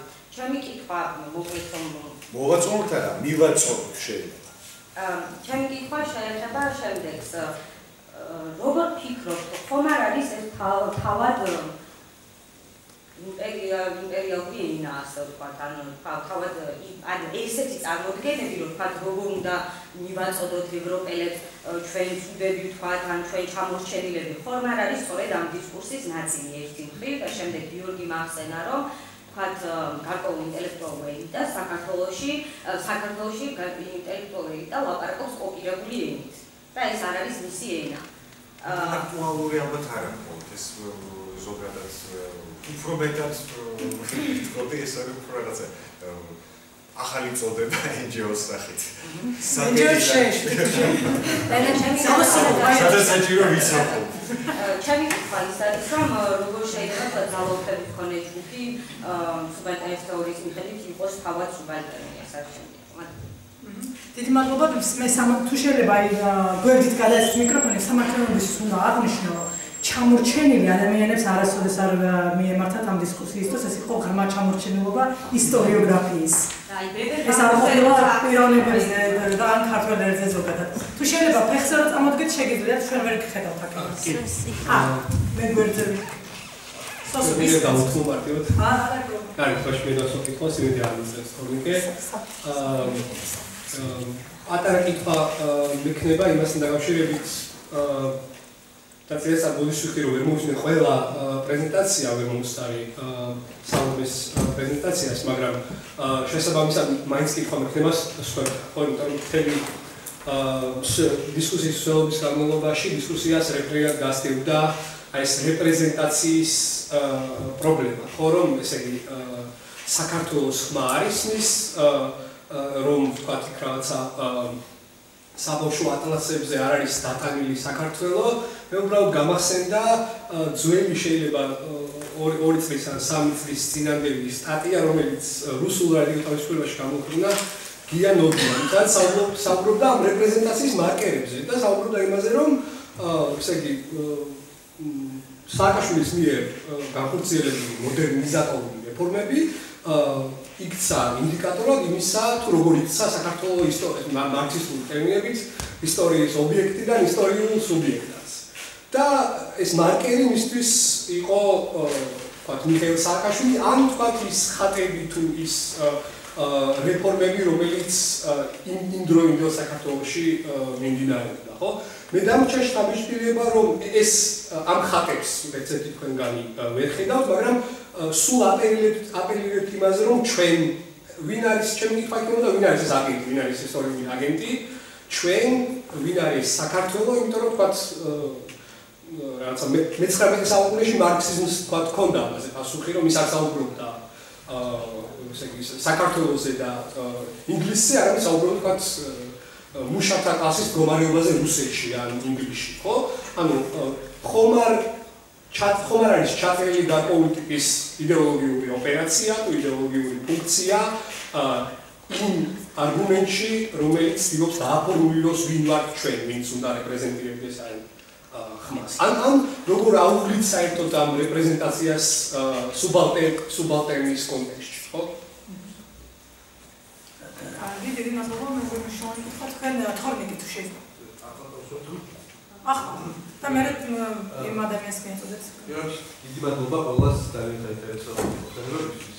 აა სალომესთან ერთება თქვა შეიძლება ხო ანუ ძალიან საინტერესო იყო ჩემთვის რომ აა ბლოგპოსტი როგორ იქნა დისკუსიის სათავე. და იმიტომ რომ ყველაზე საინტერესო ბლოგპოსტი რაც იყო ჩემთვის აქცენტი ზუსტად ის გამოვიდა დისკუსიის სათავე და იმიტომ რომ იქ იყო ის აბზაცი თავზე დამიდახურებს ალბათ. აა იმის თაობაზე რომ რა კარგია რომ ინდოელმა და სამხრეთ ამერიკელმა კვლევარებმა მოახერხეს დასავლურ აკადემიურ სივრცეში თავისი ადგილი დაემკვიდრებინათ და რაც უდერა ჩვენ ვერ ახერხებთ ამას. თქვა დღევანდელ დისკუსიაზე იყო ბევრი აქცენტი იმაზე რომ დასავლურ აკადემიურ სივრცეში ჩვენი ადგილი მოყვა. აი ფაიას დასახული თემა რომ გავხდებო რა. და თქვა დღეს თუ გასაგებია რომ კითხვა არის პოპულარული ბლოგპოსტი ჩემთვის ოდნავ გასაკვირი იყო. რატო ეს აქცენტი უშუალოდ დასავლურ აკადემიურ სივრცეზე რომელიც ხო არის დაიმოს წარმოდგენაზე არ ხო არა უშარებო და ვიცით რომ დალაუფლება ძალიან სტრუქტურირებული სივრცეა და რათა უნდა ვილაპარაკოთ იმაზე რომ ხო და პრობლემა რა თავია ერთი ხრი ტერიტორიულია და მეორე ხრი ტერიტორიული ხარა და ეს ძალიან პრობლემას ქმნის შემთხვევაში. და ან პრობლემა რა ის მდგომარეობა ჩვენ ის საკითხი დასე დასლა ჩვენი უხმობის კონტექსტში რომ აა ჩვენ ვარ უხმო იმიტომ რომ დასავლურ აკადემიაში ჩვენი ხმა არ გვაქვს ან დასავლურ ინტელექტუალურ სივრცეში. ხო არ არის პრობლემის გამარტივება ერთი მარტივი მიზეზის გამო, რომ მე რამდენადაც მესმის რა პოსტმოდერნ თეორია, აა ის პრობლემა ის არის, რომ კიდევ უფრო წავე პრობლემა დგას, რომ კოლონიალიზმი ჩვენ არათუ გლობალურ სივრცეში გვაქვს, მას არამედ ხმად გვაქვს ერთმანეთს დალაპარაკისთვისაც კი. ანუ როცა ჩვენ სტუდენტებს ვსაუბრობთ, მაგრამ საქმე საზოგადოების გააზრებასაც ვცდილობთ, აა მაშინაც კი ვიყენებთ ორიენტალისტურ და კოლონიურ და ფაშისტურ კლიშეს. რა არის? თქვა კათოლი, რამე კათოლი ტერიტორია და იმასაც ქართულ საზოგადოებას ლაპარაკობს, რომ ხალხი ნელია და ქართულებს სტაბლი რო ქონდა ბევრი იმიტომ იყო რომ ზარმაცები გახსნეს და კულტურის შეცვლა არ უნდათ და ასე შემდეგ და ასე შემდეგ რა. ხო და ეს ერთი პრობლემაა. მე მეორე ჩემთვის ცოტა გამიმარა რაც არის, არ ვიცი, თუნდაც აა ისა რამდენად ლეგიტიმურია ამ პოზიციიდან თქვა ვალენსტაინის და ჩომსკის კრიტიკა. იმიტომ რომ მე მომეჩვენა, რომ საქართველოსთან რაღაც ემოციური დამოკიდებულება რო გავიყვანოთ კანტონებიდან, თქვენ და ჩომსკი და ვალენსტაინი ხართ ერთსავე კონცეპტუალურ ჩარჩოში და ერთ იგივე წინასწარი დაშვებული. იმიტომ რომ მე და ჩომსკი და ვალენსტაინი კი, კი, აი, აუცილებლად. ვარც კომპლიმენტი იგებ თუ არა? კომპლიმენტი უდიდეს. აა ხო, ანუ ორივე აღიარეს ქუჩოვსკი. აა ორივე აღიარეს. არა, მოაზროვნე. და დაასრულებინათ შეიძლება. დაასრულეთ თორმეტი. ხო, ანუ ორივე აღიარებს იმ მოცემულობას, რომ დასავლური ერთი ქვი სოციალური სისტემები და მეორე პოლიტიკური სისტემები არის აბსოლუტურად და უსასრულოდ დომინანტი. და თქვენ რამეს მომოცემულობას ხედავთ ხო მეც მინდა დაიკვირდეთ ხასა. ხო, ხო. რა უკეთესი გვაქვს? შეიძლება უპასუხოთ თუ თუ მოჭა აი ამ სამკითხვა შევაჯამებ ძალიან მოგეთ. მე მგონი ადასრულებია თორნიკე ნახევარი წუთი გასაგებია. გასაგებია რომ ეს მოცემულობა არ შეიძლება, მაგრამ იმისაც რომ მოცემულობაზე რეფლექსია დავითოთ, თავად ამ მოცემულობას რეფლექსიის საგნად ვაქცევთ, ეგ უკვე რაღაცა და მეტყვა. და ამას აკეთებ მეგობრებს თქვენს და ყვალისტანის. და ანუ თუ არის თუ არის არგუმენტი ის რომ მოდი წავიდეთ დასავლურ აკადემიურ სივრცეში, იმიტომ რომ რა მნიშვნელობა აქვს ქართულ აკადემიურ სივრცეს ან სომხურს ან კავკასიურს რატო არ შეიძლება იყოს უსათივე ეგეთი არგუმენტი რომ მოდი გავიაზროთ დასავლური პოლიტიკური სისტემა ის გავლენა რაც მას აქვს და რაში გვაინტერესებს თქვა ქართული პოლიტიკური სისტემა. დიდი მადლობა საინტერესო კითხვისთვის. უკან თუ შეიძლება ეს იქნება ბოლო კითხვა, იმიტომ რომ ჩვენ ასეთი ტემპი თუ გავაგზავნეთ პასუხები, ალბათ დიდი დრო დამჭირდება, ამიტომ ეს იქნება ბოლო კითხვა თუ შეიძლება კომენტარი მოგვიყვება. ой, შეიძლება დასუნდე შეიძლება გავაკეთო. პირველი მინდა ერთი სხვა ახალი ხალხი წარმოჭრა იმაში თუ რატო ვერ ახდენ საქართველოს და არა μόνο საქართველოს სხვა პოსტატელებს თავის პრეზიდენტებს იგივე ვალერსტაინი დაგნობი თუ რას და იდეა ქონდა საბჭოთა კავშირთან დაკავშირებით. ვალერსტაინი 79 წელს წერდა რომ საბჭოთა კავშირი დაიშლება თუ ის ვერ დააბარებს კავშირს გერმანულ და იაპონურ კაპიტალთან. ან ამის ნიშნები დაინახა პერესტროიკის დროს და ხასუსონდა იქ თქვა სალამანდრას თესაცნელები როგორი კერებოდა საბჭოთა კავშირში და ასე შემდეგ და საბჭოთა კავშირი დაიშალა რის შემდეგაც ვალერსტაინი ამბობს რომ პრობლემა ის რომ საბჭოთა კავშირზე როგორც დიდ პლატფორმაზე უარიფეს ის ნაშენაგებმა წევრმა ფერდებმა იყო დიდი სისულელე. რადგან ისინი როგორც ინდივიდები არაფერს წარმოადგენენ აი დიდი პლატფორმის გარეშე. და ეს არ არის მარტო ალერსტაინის შეხედულება, ამას იზიარებს პატრიოტ დოლგოლინზი, იგივე გიორგი დერლუგენ, რომელიც სიმულსაფერად ჯონსონ პური წარმოშობისა. ხომ არ ფიქრობთ, რომ პრობლემა ის არის ის, რომ ჩვენ ვერ ვახდენთ სწორად ჩვენს თვით რეპრეზენტაციას, არამედ პრობლემა არის ის, რომ ჩვენ არ არ გვაქვს ის, რაც დასავლეთ დაინტერესებდა და ყველაფერი არის ამ მოგება წაგებამდე და ჩვეულებრივ ეკონომიკურ ბენეფიტებამდე. და მეორე რაც მინდა ვიტყვი, რომ ბატონ გიორგი საუბრობდა? იური ლოტმას აქვს რომ რუსული კულტურის კლასიკური თავარ მახასიათებელი არის ყველაფერს დაყოფა ორ ორ ნიშნად ანუ სიკეთე და ბოროტება და ის ვერასდროს ვერ ფოლობს შუალედს. და ჩვენს ალბათ ზუსტად ასე ვარ გადმოსული რომ გასწავლური ომების სიტყვებით რომ კადარ ორ ძალაშორის და პოლიტიკები და ნათელ ძალაშორის ანუ მე არის ეს კარგია ცუდი მაგრამ აშკარად რუსული კულტურის ნიშანია როგორც ბნელი რომ ძალიან დიდი მადლობა ყველას იგივე თანმიმდევრობით ყველას გაქვთ ახლა საშუალება რომ 4 აა შემიჩნევია კი ბატონო შეგვიძლია რომ ერთი მიკროფონი თუ შეიძლება და ეს იქნება მართლა ბოლო კითხვა. ერთი შეკითხვა მაქვს ჯერ აუდიტორიასთან ვინ თქვენსაგან არის ისტორიკოსი მაგრამ გაინტერესებული ხარ ინტერნეტ ისტორიაზე? ო, კარგი, იმიტომ ერთი აი ძალიან პრინციპალური შენიშვნა მაქვს. მიეცი ისტორიკოსებს აი ეს დამოკიდებულება, დამოკიდებულება სოციალურ ან ეროვნულ დაქვეთისაგან. ეს ეს შოს არა მარტო ისტორიკოსებს ეხება, ესაც ყველა სტუდენტს ვისთან მე ვისაუბრებ, რომელიც სალდა საზღვარგარეთ მუშაობს საქართველოს თემატიკაზე. ხო აი კონტექსტზე და და არანაირი არა ეს არის რომ კი მიდიხარ საზღვარგარეთ და ინდა აშენო რომ აი ჩვენ ვარსებობთ. მაგრამ ამ გზით საერთაშორისო სამეცნიერო დისკურსი ვერ გადადიხარ. აი ახლა გზის სუპერდენ ალტერნატ სტადიის და რაცა ეს მარტო მოხდება თუ კონცეფციონალურად ინოვაციური მიდგომით და შეიძლება ეს არ იქნება ეროვნულ ფარგლებში შეიძლება კავკასიის მწოდნეობა, შეიძლება სრულიად სხვა მთიანეთის კულტურები, რა ვიცი მე, ხო ეს, მაგრამ ეს არის ერთი ძალიან პრინციპული, ეს კი ისტორიკოსები არიან მუქალაკეებიც. და ეს აი ნაცვლად რომ გაყოფა შეუძლებელი არის, მაინც ზეგავლენა არის, თვითონ ძალიან მაინტერესებს ისტორიოგრაფიის ისტორია. მაგრამ ეს მანამდე ეს არ შეიძლება არ არის შანსი რომ რამე გაუჩუბესდება ისომ საერთაშორისო ისტორიოგრაფიულ დონეზე რომ გამოჩნდება სერიოზული რაცა შრომა რომელიც აი ამ რეგიონზე მიხედავთ უფრო მოდის რომ შემოდიან აქ ამერიკელები ფულ ბრაიტის სტიპენდიები და თავის კონცეფციები მოხდება ეს მეცნიერული კოლონიზაცია და რაცა. იმიტომ რომ შემოდიან ერთი წით მიდიან მე ხო. ეს ერთი მეორე არის ინსტიტუციონალური პრობლემა ეს რომ აქ რო არავინ ასწავლობს ისტორიას უნივერსიტეტში, რა პერსპექტივი არის? საბჭოთა პერიოდში ისტორია იყო საბზოლო იარარი კომპარტიის დიდებისათვის. იმიტომ პოლიტიკაში, აი პოლიტიკურ თემებზე შეუძლებელი იყო. ეს მარტო შესაძლებელი იყო ისტორიულ საბზოლო ველზე. ეს ეს მეორე.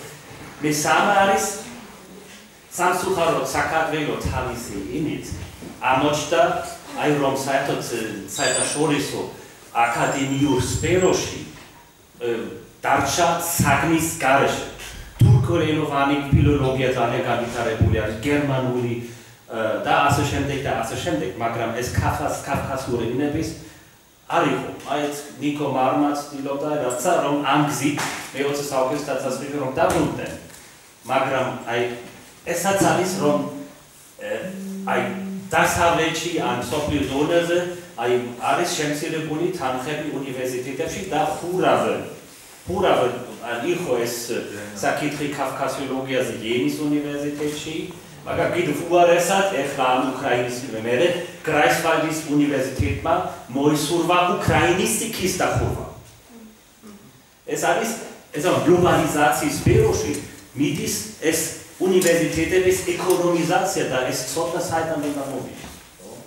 და ამიტომ მე მგონი ძალიან მნიშვნელოვანია ისტორიულ სფეროში, აი ინოვაციური მიდგომები, აი როგორც ადრიან ბრისკოს შედარებითი, აი საერთკბილ ევროპის წარმოდგენა ქართულ და ალბანურ ელიტებში, რომ ეს არ არის მათო საქართველოს და ქართულ საზოგადოებაზე ორიენტირებული.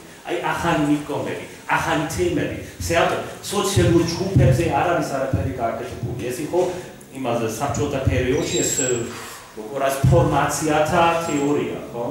მაგრამ იყო განსხვავებები ერის კონცეფციაში. მე შევამჩნიე ეს ეს მეოცე საუკუნეში გეორგიკაში მოწეს იყო დეტალები, რაც შესაძლებელი იყო. მაგრამ იმ პერიოდში ისტორიკოსმა დაინახეს ხალხს როგორც ეროვნული კულტურის და საბჭოთა კავშირის დაშლის მერე ეროვნული სახელმწიფობრიობის ლეგიტიმატორები და დამცველები. და ეს უნდა დამთავრდეს ჩემი აზრით. სხვანაირად ახალი ნარატივის შექმნა და ეს ძალიან პრობლემატური არის. ძალიან პრობლემატური არის ახალი ნარატივის შექმნა, რომელიც შეიძლება მერე რომ გახდეს მისაცდომი პოლიტიკოსებისთვის, ვერ გამოვა. ძალიან დიდი მადლობა. კარგი, ჩვენ ესე იგი შეჯამებისკენ მივდივართ. თითოეულ თქვენ და მას იგივე თანამდებობით სამ-სამი წუთი ექნება. თუ შეიძლება თუ შეიძლება დაიცავით ძალიან მეცდები, თუმცა ეს არის ურთულესი საკითხები და თან მართლაც არ მინდა რომ დღეს რაღაც ასე პრეტენზიულად და თეორიულად თეორიული ტერმინებით გაჯერდეს ჩვენი დისკუსია და ეს ფორმატია. ამაზე ალბათ არასდროს მოგვეცემა საშუალება პროფესორად ვისაუბროთ, მაგრამ აქ დასმული კითხვები რატომ დასავლეთის აკადემიური სივრცე? იმიტომ რომ ეს არის ეპისტემოლოგიური ცენტრი. და იმიტომ რომ ცოდნა იქნება იქ. ეს არის ფაქტი, ეს არის მოცემულობა. რასაკვირველია ეს არის ჰეგემონიური ცენტრი. ამაში ორი აზრი არ შეიძლება შევიტანოთ, მაგრამ მე იმედი მაქვს, რომ თქვენს ჩემი არაფას ჰეგემონიას ვიყენებთ გრამშისეული განსაზღვრებით და გრამშის მიხედვით ჰეგემონიურ სტრუქტურას, ჰეგემონიურ ჰეგემონიას აქვს უნარი შეიწოვოს თავის ნაწილად აქციოს წინააღმდეგობა კრიტიკა და თვითონაც შეიცვალოს აქედან გამომდინარე გრამში მოხსენებად ჰეგემონიურ წესრიგს უწოდებს მოძრავ ეკვილიბრიუმს. ეს მიგმივართ თვით განახლების რეჟიმშია ასე ვთქვათ და მარტო ძალიან კრიტიკულ შემთხვევებში, როცა წინააღმდეგობა უკვე ისეთია, რომ განახლება შეუძლებელია, მაშინ ინგრევა ეკვილიბრიუმი და შემდეგ წარმოიშვება ახალი ძალიან თეორიული ენით, რომ ვისაუბროთ, ხო? ეხლა იგივე კრიტიკას, რასაც ახლა თქვენ აღსაუბრობთ, ძალიან ბევრი უყენებს იგივე პოსტკოლონიური თეორიის ვარსკვლავებს. მაგალითად, ჩემი საყვარელი ავტორი ერთ-ერთი, ჩემთვის ყველაზე საინტერესო არის ასეთი წარმოშობით თურქეთიდან ავტორი არიფ დირბიკი, რომელიც ორეგონის უნივერსიტეტშია. თვითონაც ძალიან ბევრი თეორიული შრომის ავტორია სწორედ პოსტკოლონიურ თეორიაში, მაგრამ ის უარს აცხადებს იყოს ნაწილი აი ამ რაღაცა ჯგუფისა, სუბალტერნული კვლევების ჯგუფი იქნება ეს ასე შემდეგ, შემდეგ ეს ხალხი მართლა დიდი ვარსკვლავები გახდნენ, ხო? გაიათრის პილაკი, რანაჯი თუჰა ასე შემდეგ ბევრი ჩაკრაბატი და ასე შემდეგ. ის მათ მან დაწერა 90-იან წლებში ძალიან გავლენიანი ესე და აქა პოსტკოლონიური აურა სადაც ზუსტად გრამშის, ასე ვთქვათ, მოდელიდან გამომდინარე, ამ ვარსკვლავებს ადანაშაულებს იმაში, რომ ისინი გახდნენ ჰეგემონიის ნაწილი. ჰეგემონიაში, ჰეგემონიამ ისინი ვთქვათ, გახსნილი ხელებით მიიღო ჰეგემონიურმა ეპისტემოლოგიურმა ცენტრმა, დასავლეთის აკადემიამ და ჰარვარდში, იელში ძალიან ისე პრესტიჟულ უნივერსიტეტებში ესენი გახდნენ მართლაც ნაწილი იმისა, რომ ჰეგემონიამ შეძლო თავის-თავის ახლებური წარმოჩენა, თავის-თავის თავის განახლება. ეს ესთეტიკა არის, თუმცა როგორც ვამბობ, ამავე პარადიგმაში არის ძალიან ბევრი საშუალება კრიტიკის წაკითხული გაქვს დაძლებულება ქართულადაც ითარგმნა ახლა ხან ევროპის პროვინციალიზაცია. ციგნი ხო რომელიც სწორედაც ეს ცდილობაა რომ ევროპის უნივერსალისტური ესე ვთქვათ განაცხადი და უნივერსალისტური სულისკვეთება და მისი ცივილიზაციური მისიას დაუსვას კითხვები და ამოვიდეს ეგ კიდევ ისე ძალიან პარტიკულარისტული გამოცდილება ევროპისა. ეს ეს პოსტკოლონიურ თეორიაში შეიქმნა ეს ნაშრომი ხო? ეხლა ახალ ენას ვერ შევქმნით. ახლა ისტორიის ენის ახალ მოდელს ვერ გამოვიგონებთ შეგვიძლია ვიყოთ რასაკვირველია რადიკალი ესე ვთქვათ რა გამოუცხადოთ ომი რეალობას და ვთქვათ რომ არ გვინდა არაფერი შეხება კონდეს ჰეგემონიურ ცენტრთან ცოდნის წარმოებისა, მაგრამ მე მგონია რომ ვთქვათ არაპრაგმატულია. თუმცა ყავისემ ამ პოზიციასაც მე არ ვარ ესეთი რადიკალი, მე ვთვლი რომ დიახ, ჰეგემონურ ცენტრში, ჰეგემონურ სისტემაში შეღწევით და ჩვენი საქმეების თმით ეს ჰეგემონიური წესრიგით შეიცვლება და ჩვენ საკუთარ თავს დავეკვითრებთ სწორედ ჰეგემონიურ სტრუქტურებში და მოგესალმებით იგივე გრამშის განსაზღვრებით სუბალტერნი არის ის, ვისაც სწორედ ხელი არ მიუწვდება ჰეგემონურ სტრუქტურებამდე, ვინც ჰეგემონიური წესრიგის გარეთ არის დარჩენილი, არ არსებობს. რაც ეხება რეპრეზენტაციის საკითხს, ეს დიდი პრობლემაა, რასაკვირველია, ვინაიდან როცა მე ლაპარაკობ სუბალტერნზე, მე ამითი ამ სუბალტერნს პარალელურად ვქმნი, ის ესე მოცემულობაში არ არსებობს, ხო, რომ მე მას აღწევ. ყველა ძალაუფლების ასიმეტრია რასაკვირველი არსებობს რადიო თავისუფლებაში მუშაობ ბლოგზე რადიო თავისუფლების საიტზე და საუბრობ რაღაც გლეხებზე მუშებზე ასე შემდეგ. მაგრამ მე მგონია რომ ამასაც ვერაფერს ვერ უზავთ ერთადერთი გამოსავალი აქედან არის ის რომ მუდმივად გვახსოვდეს ჩვენი ძალაუფლებრივი პრივილეგია და მუდმივად ვიცოდეთ რომ ესეც არის გარკვეული ძალაუფლების ასიმეტრია და ჩვენი პოზიციიდანაც ვახდენთ ესე ეს არის რეპრეზენტაცია და არა რეალურად სუბალტერნის ალაპარაკება. ვინაიდან სუბალტერნი როგორც დაწერა გაიაკის პევაკმა ვერ ლაპარაკობს. მას არა აღლის როგორც კი იწყებს ლაპარაკს და თავისი პოზიციის ამკვიდრებას ის რჩება ჩაგრულად ის რჩება იერარქიულ საფეხურზე დაბლა ყოფად მაგრამ ის აღარ არის სუბალტერნი. და აი სულ ბოლოს მინდა კიდე დავამატო ის რომ რაც ბლოგშიც ვერ ამეყო სიუცე ამაზე რომ დამეწერა ისეს არ უნდა ვიფიქროთ, რომ ახლა რახან არსებობს პოსტკოლონიური თეორია, სუბალტერნის პრევების ჯგუფები და მთელი ეს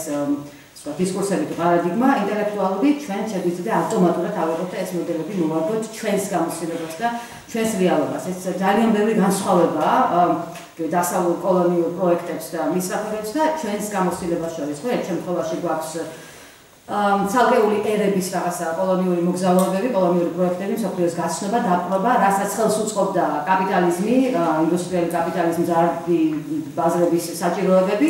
მეორე შემთხვევაში გვაქვს იმპერიასთან საქმე, რომელიც დაეთმო ძველი იმპერიული ფორმაციების მოდელს, იქნებოდა ეს ოსმალური თუ აბსოლუტური იგივე რუსული, ანუ ტერიტორია ერთიანია. განსხვავებები იდეოლოგიაში, ხო, დასავლეთის კოლონიურ განზომილებასთან მიმართებით განზომილებას წარმართავდა ცივილიზაციური მისია, რომ დასავლეთ ცივილიზაცია ჩახქონდა კოლონიებში.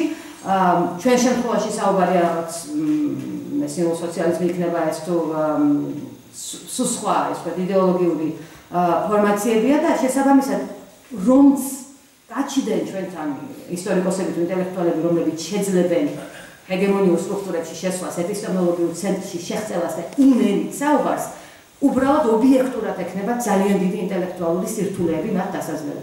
მაგრამ მე მაინც მგონია, ყველაფრის გათვალისწინებით და იმ ასიმეტრიების გათვალისწინებით და ზას ჩვენ ძალიან ლეგიტიმურად წამოჭერით, ეს ექნება ძალიან მნიშვნელოვანი საქართველოსთვის, ვინაიდან კიდევ ერთხელ ვამბობ, ახალი ენის, ახალი დისკურსის და ახალი სამეცნიერო რაღაცა ფორმების მოგონება, მე არ მგონია, რომ ჩვენ შევძლებთ. ამ ვინაიდან დიდი მადლობა. ლაშა. შევატყვევ ერმონის მინეს რაც თქვი კარგად. აა რადგანაც თუნდაც ის უკევი რომელიც ვარ ჩვენე ამის შემდგომ მე ვთქვი რომ ჩვენ ამ ქვეყანაში ჩიგნით ქვეყნის საერთოდ ვერ შევძელით რომ დავინახოთ რა ქვია ჩვენი წასული და ჩვენი მომავალი.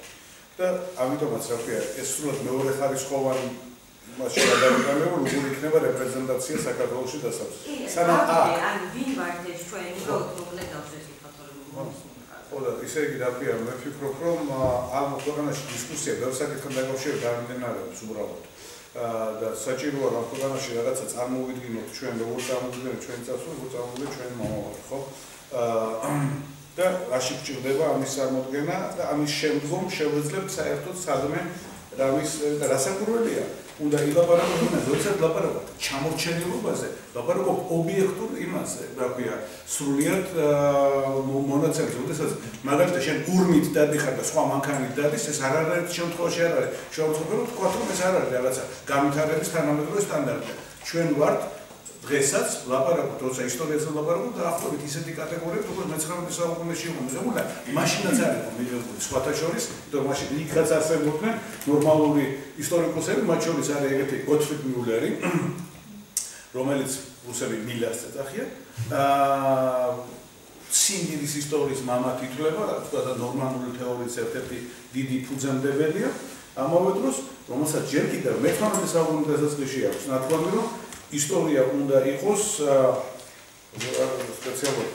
სულად არ ვაპირებდი ამას თქვა ახლა პუნქტი აა უწერია ohne Vaterland ohne Glaube ohne Herrscher რაც ნიშნავს სამშობლოს წმენის და ბრძანებლის გარეშე. აა და აი მაშინ იქნება ეს ისტორია საერთოდ ეს ისტორია არ არის ზუსტი მეცნიერება ვერანაირად მას ვერ შევამოწმოთ, ვერ გადავამოწმოთ არანაირი ექსპერიმენტის საშუალებით ამის გაკეთება არ შეგვიძლია. ყოველთვის იქნება გარკვეული ტენდენციების მატარებელი.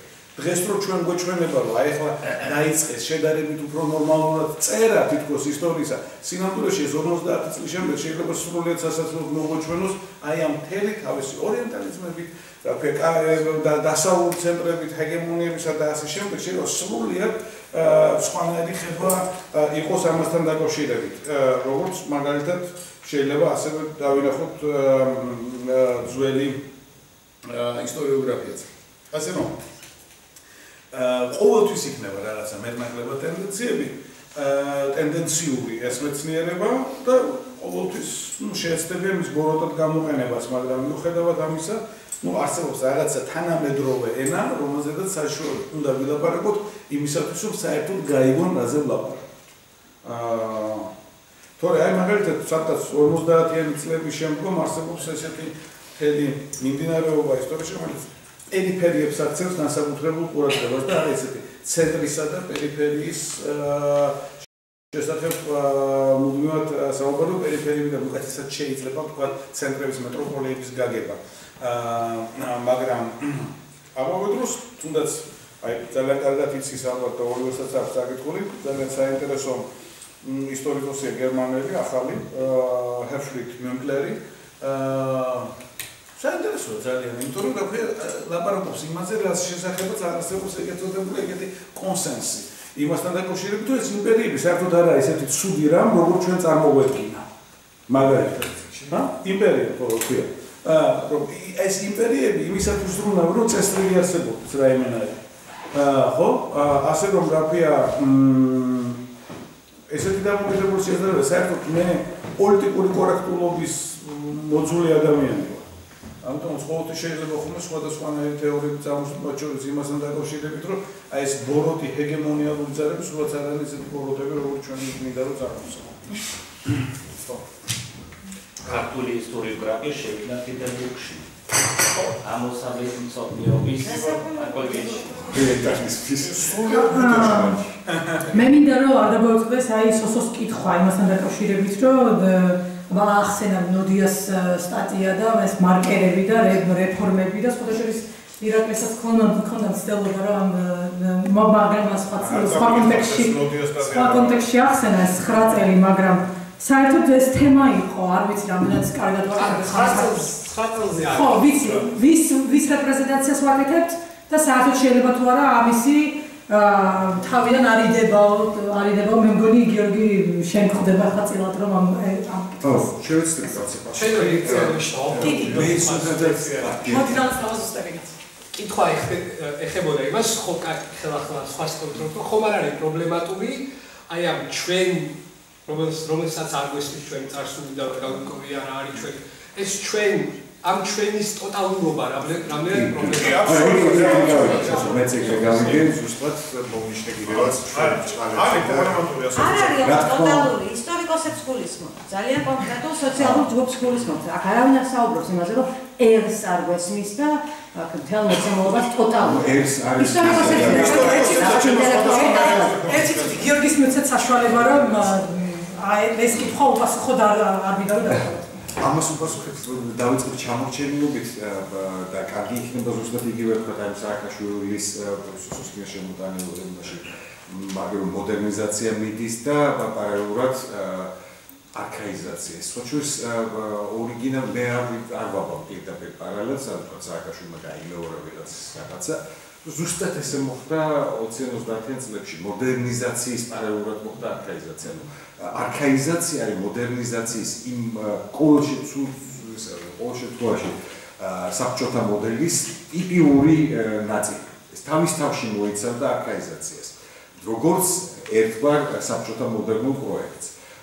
კიდევ მეორე არანაირი პირდაპირი კავშირი შეიძლება არ არის. ჩვენ ვიმეორებთ რაღაცა ფორმებს და რაღაცა არქეტიპიც შეიძლება მაგალითად შეიძლება თქვა მაგალითად უბრალოდ შენაც გეთანხმება სრულიად აი მიშას დრო თუ გახსოვთ რა ქვია ჩოლოხაშვილის თემი ჩამოსვენება მისი ნეშტის.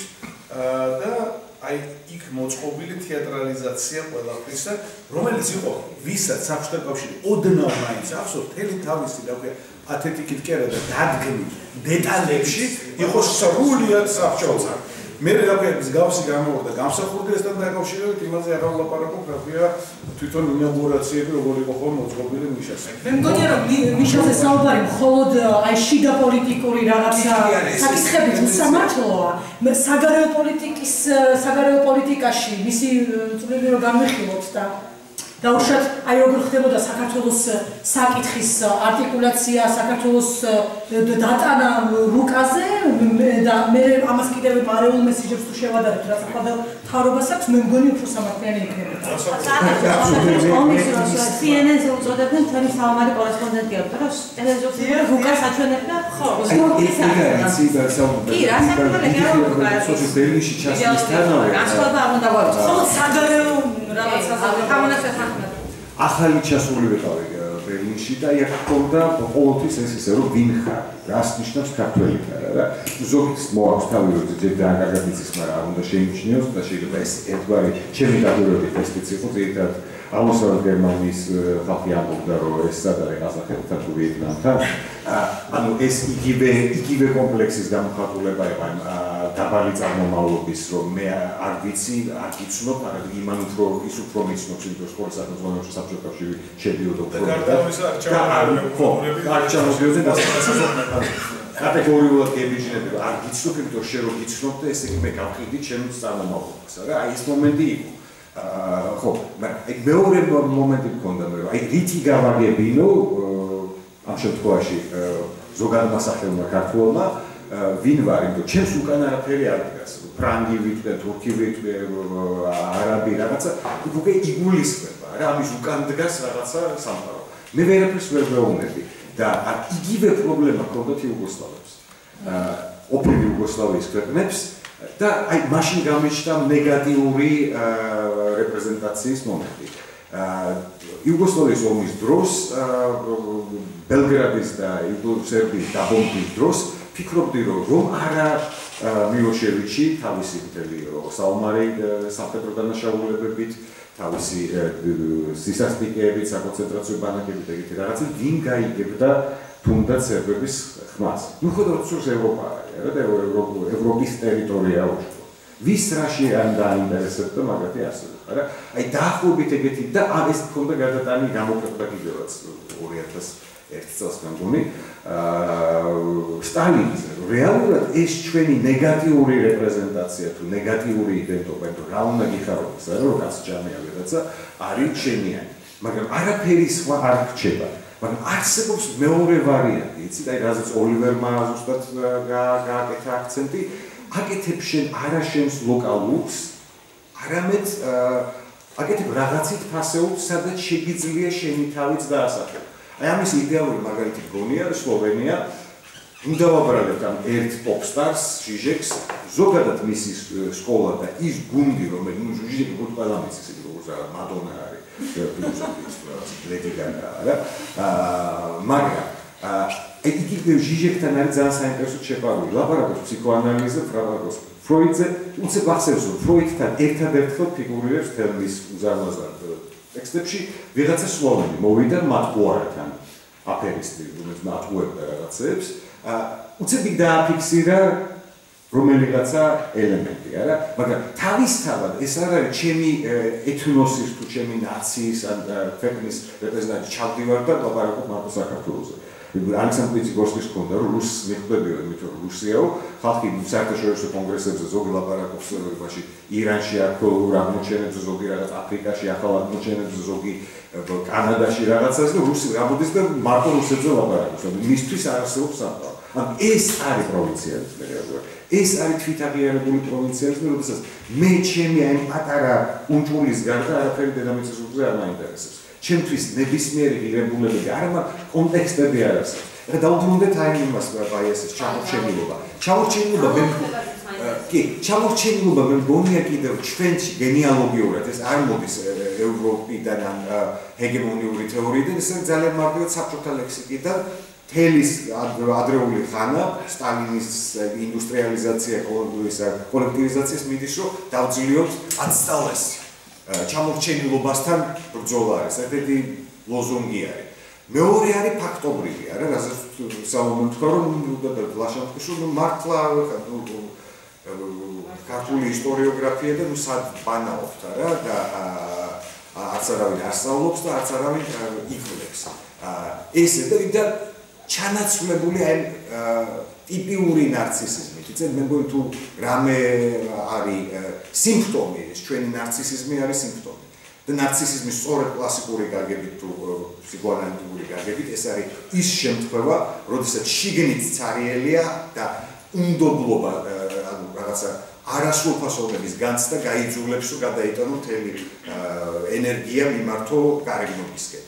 მაქსიმალურად ნაჩვენო ერა ლამაზი ვარ და მომაქცევი ყურადღება როგორი ძველი ვარ იგივეს ნიშნავს როგორი საუკეთესო ვარ და საკუთარ თავზე ლაპარაკი და თვითქება და თვითგამოფენა რა ეს რაღაცა ექსპედიცია მაგრამ რას გამოფენა? ამაზე დაფიქრებას რატო არ ვთქვათ ის კი არა რომ რომელიღაცა პოლიტიკოსი ან საელჩო დიპლომატი არის მავნებელი და ბოროტი არამედ მან არ იცის. არ იცის არც ის ქვეყანა სადაც წარმოდგენილი არ იცის რომ ის შენ ჯუჭელა და ჩოხა და ხაჭაპური შეიძლება ვიღაცა გააკვირვო საკუთარი ექსპანსიუ დაუსხდებით და ვიცით უფრო ამაზე გემრიელი რა არსებობს რა არც არ არსებობს. მაგრამ ეს როგორც რეპრეზენტაციის ისე რომ ვიღაცამ კიდე იცის ჩემი არსებობა აღარ აღნიშნება დასავლეთი იქნება თუ აღმოსავლეთი არ მუშაობს ეხლა ისე და ისე ფაქტია მოგწოს არ მოგწოს ვიცით რომ რეპრეზენტაციის არის რაღაცა მითო რიტუალური კონსტრუქცია, მაგრამ ეს არის ამავე დროს კომუნიკაციის საშუალება. ჩვენ ვერ გადავხსნათ ამას ფას, არა? ადამიანი ადამიანს ხვდება და ახდენს რაღაცის რეპრეზენტაციას. რა დონეზე როგორი ფორმი და დელიკატურობა და ეს სხვა საქმეა, არა? ვიღაცა ეგზიბიციონისტებს, ვიღაცა რაღაცა შულებულად აკეთებს, ვიღაცა ნაკლებად უარულად და უფრო საინტერესოს ხდის, მაგრამ ეს ჩვეულებრივი ამბავი მგონია და არა ის რომ აუცილებლად აღმოჩნდეთ ამ ამით გავიმეოროთ ეს стереოტიპები, რომელიც არის თქვა პოლონიურ დისკურსში, არა? აი, სწორედ მნიშვნელოვანი მგონია ის რომ შევქმნათ კონტექსტები. შევქმნათ კონტექსტები, რომელიც ჩვენს მდგომარეობასაც ანუ გაგაგებინებს და ზოგადად გასაგები იქნება. ძირითადი აქცენტი მქონდა იმაზე, რაზეც შეკრიტიკა მივიღე. აქცენტი მქონდა იმაზე, რომ ის ენა, ის სიმბოლიკა, ну ენას დავაკეთებდი, რომლითაც მე ჩემ თავს ვაჩვენებ, არ არის გასაგები არავისთვის გარდა აღარ არსებული ერთი კონტექსტისა, რომელიც მუშაობდა საბჭოთა კავშირის ხო, შექმნილი საბჭოთა კავშირისთვის, საბჭოთა კავშირის მიერ და აი, რომ წამოვიდიოთ რაღაც ფიზიკა. ამ ფერს გამოიცნობ რაღაცა ჭრდილობად რაღაც ოპტიკური ისვავება აქ არ ჩანს ეს. ნათელში მზის ფონზე ან თუ რაღაცა არ გამოჩნდება. რაღაცა ტიპის სიგნალი არის შესაბამისი კონტრასტები არის საჭირო ოპტიკური გამოჩნდეს. იქ არ გამოჩნდება. ის გაუგებარი ენა. ჩვენ ჩვენ ვაწარმოებთ ისევ და ისევ იმ ენას რომელიც აღარ არსებობს ახალი ენაზე არ ვიფიქრი ახალი ენაზე შექმნაზე თუნდაც რაღაცა მიკროსკოპული პატარა მასშტაბებით არ არის გაუცილებელი რომ მოვიგონოთ რომ რაღაცა ახალს თემსოფლიოსთვის უნივერსალურს ვნი.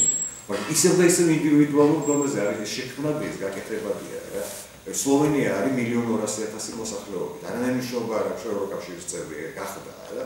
მაგრამ როგორც სახელმწიფოებრივი თუ ეროვნული ელემენტი, როგორც ნაცია ძალიან პატარა არის, რა ვიცი, საქართველოს მეხუთედია ტერიტორიით, მაგრამ აქვს თავისი ადგილი ნამო. ჩვენ არ აქვს ეს. ტექნოლოგიები ირაკლი და შემდეგ საუბარს ვიცით. ბოლოს იქნა სეჯერ მე პარაკდა და დიდხანს გაგზავნა ეს დისკუსია. ძალიან უხეშად შეიძლება გამომივიდეს.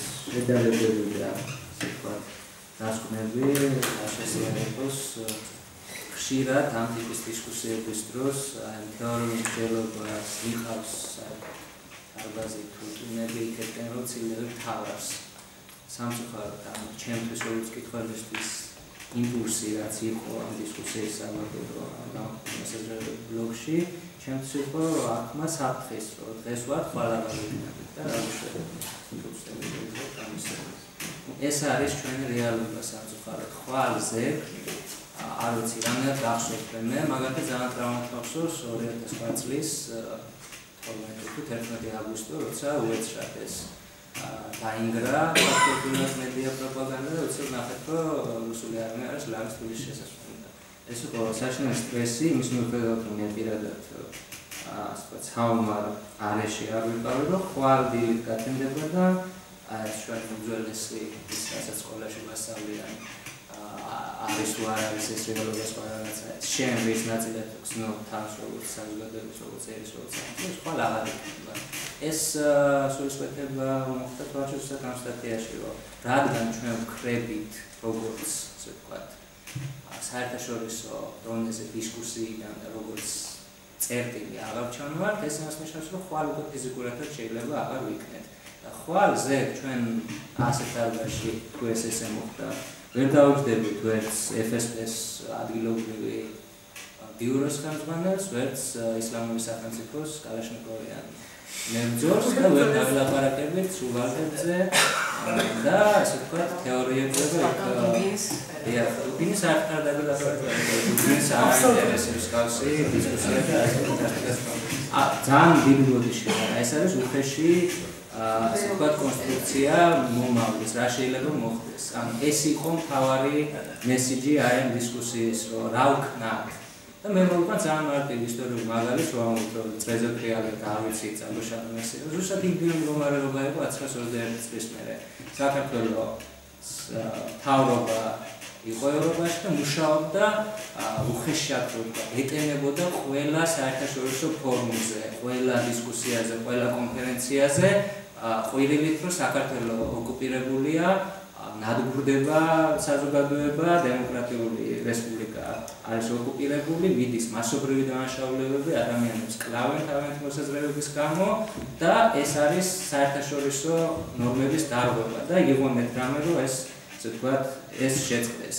და საპირისპირო მხრიდან საბჭოთა მაშინდელი საქართველოს დონეზე და თავისუფალ საკავშირო დონეზე ამისი აა საპასუხო იმპულსი იყო ოფიციალური თუ არაოფიციალური არხებით მუდმივ მუქარა და შეთავაზება ქართული ყოფილი მთავრობის ყოფილი ფაქტობრივად და იურიდიულად ჯერჯერობით მთავრობის მიმართ რომ ჩვენი შეთანხმების და კომპრომისის საგანი არის რომ მოხსენით საქართველოს როგორც საკითხის საერთაშორისო ურთიერთობების იმიტომ რომ საბჭოთა რუსეთს შემდეგ უკვე ერთ წელიწადში საბჭოთა კავშირს ყოველ საერთაშორისო ფორუმზე ცხვირზე ხდებოდა საქართველოს როგორც იურიდიულად აღიარებული რესპუბლიკის ოკუპაციის ფაქტი. ეს იყო ძალიან ესე ვთქვათ და მესეჯი იყო რომ საქართველოს უნდა გაქრეს საერთაშორისო დისკუსიიდან. იმიტომ რომ ეს დამთავრდა შეეძლოთ ფაქტს, რომ ეს არის საბჭოთა კავშირის ნაწილი. საინტერესო არის რომ ადამიანი და მივიწყებული პოლიტიკური სპიკერების თვალსაჩინო შეხედვით ამას არის საინტერესო რაღაც. ადამიანი რომელიც იყო მთავარი ლიდერი პარტიის წინააღმდეგობის მოძრაობის სოციალ-დემოკრატიული ქართული პარტიის არალეგალური ცენტრალური კომიტეტის ანუ საკონცო ფიგურა.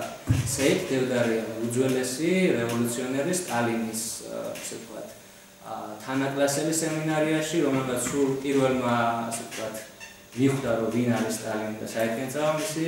განვითარება ეს ამბავია ორი წელიწადი ის მუშაობდა იატაკქვეშეთში და მიდიოდა ამ ხაზით რომ საქართველოს უნდა დარჩეს საერთაშორისო არენაზე ამ საგნა შემდეგ დააპატიმრეს გაატარა რამდენიმე კვირა წოდებული ბერიას ინსტიტუტში როგორც ეძახდნენ ამ ჩეკაში.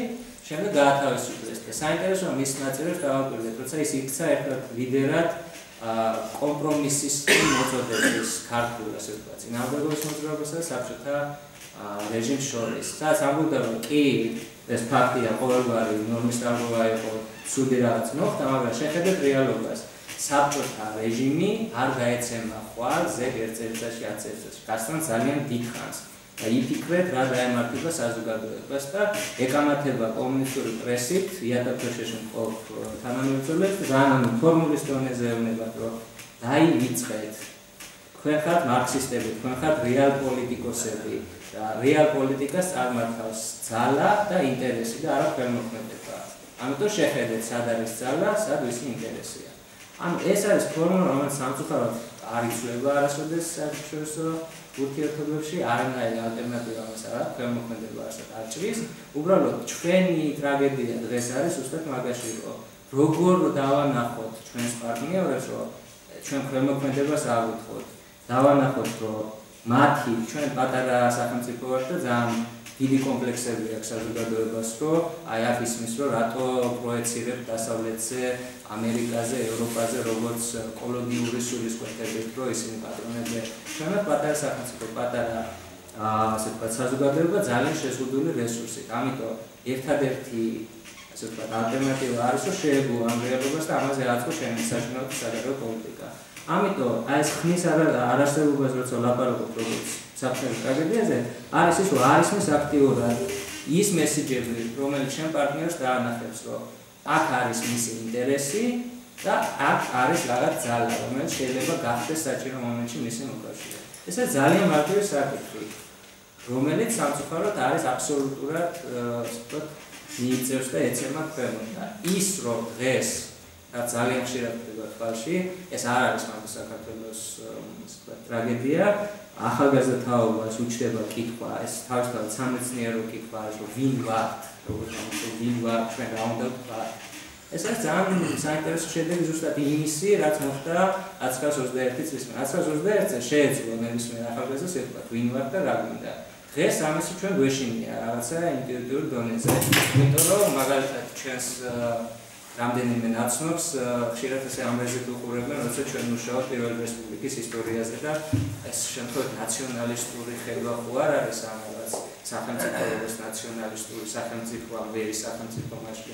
ეს შიშები არის გამომდინარე ტრამული წარსულიდან, ნაცისტური მემკვიდრეობიდან, ჩვენ გვაქვს საპირისპირო ვარიანტი, როდესაც აწმებულების მანძილზე ჩახშობილი იყო შეგრძნება ადამიანში პერსონალურ დონეზე, პატარა საზოგადოების დონეზე, თემის დონეზე, და ერის დონეზე რომ შენ ხარ მნიშვნელოვანი, შენ გაქვს საკუთარი ხმა და გაქვს პრეტენზია რომ არსებობდე და შენი მოთხოვნილებები გქონდეს, როცა ეს ჩახშობილი იყო.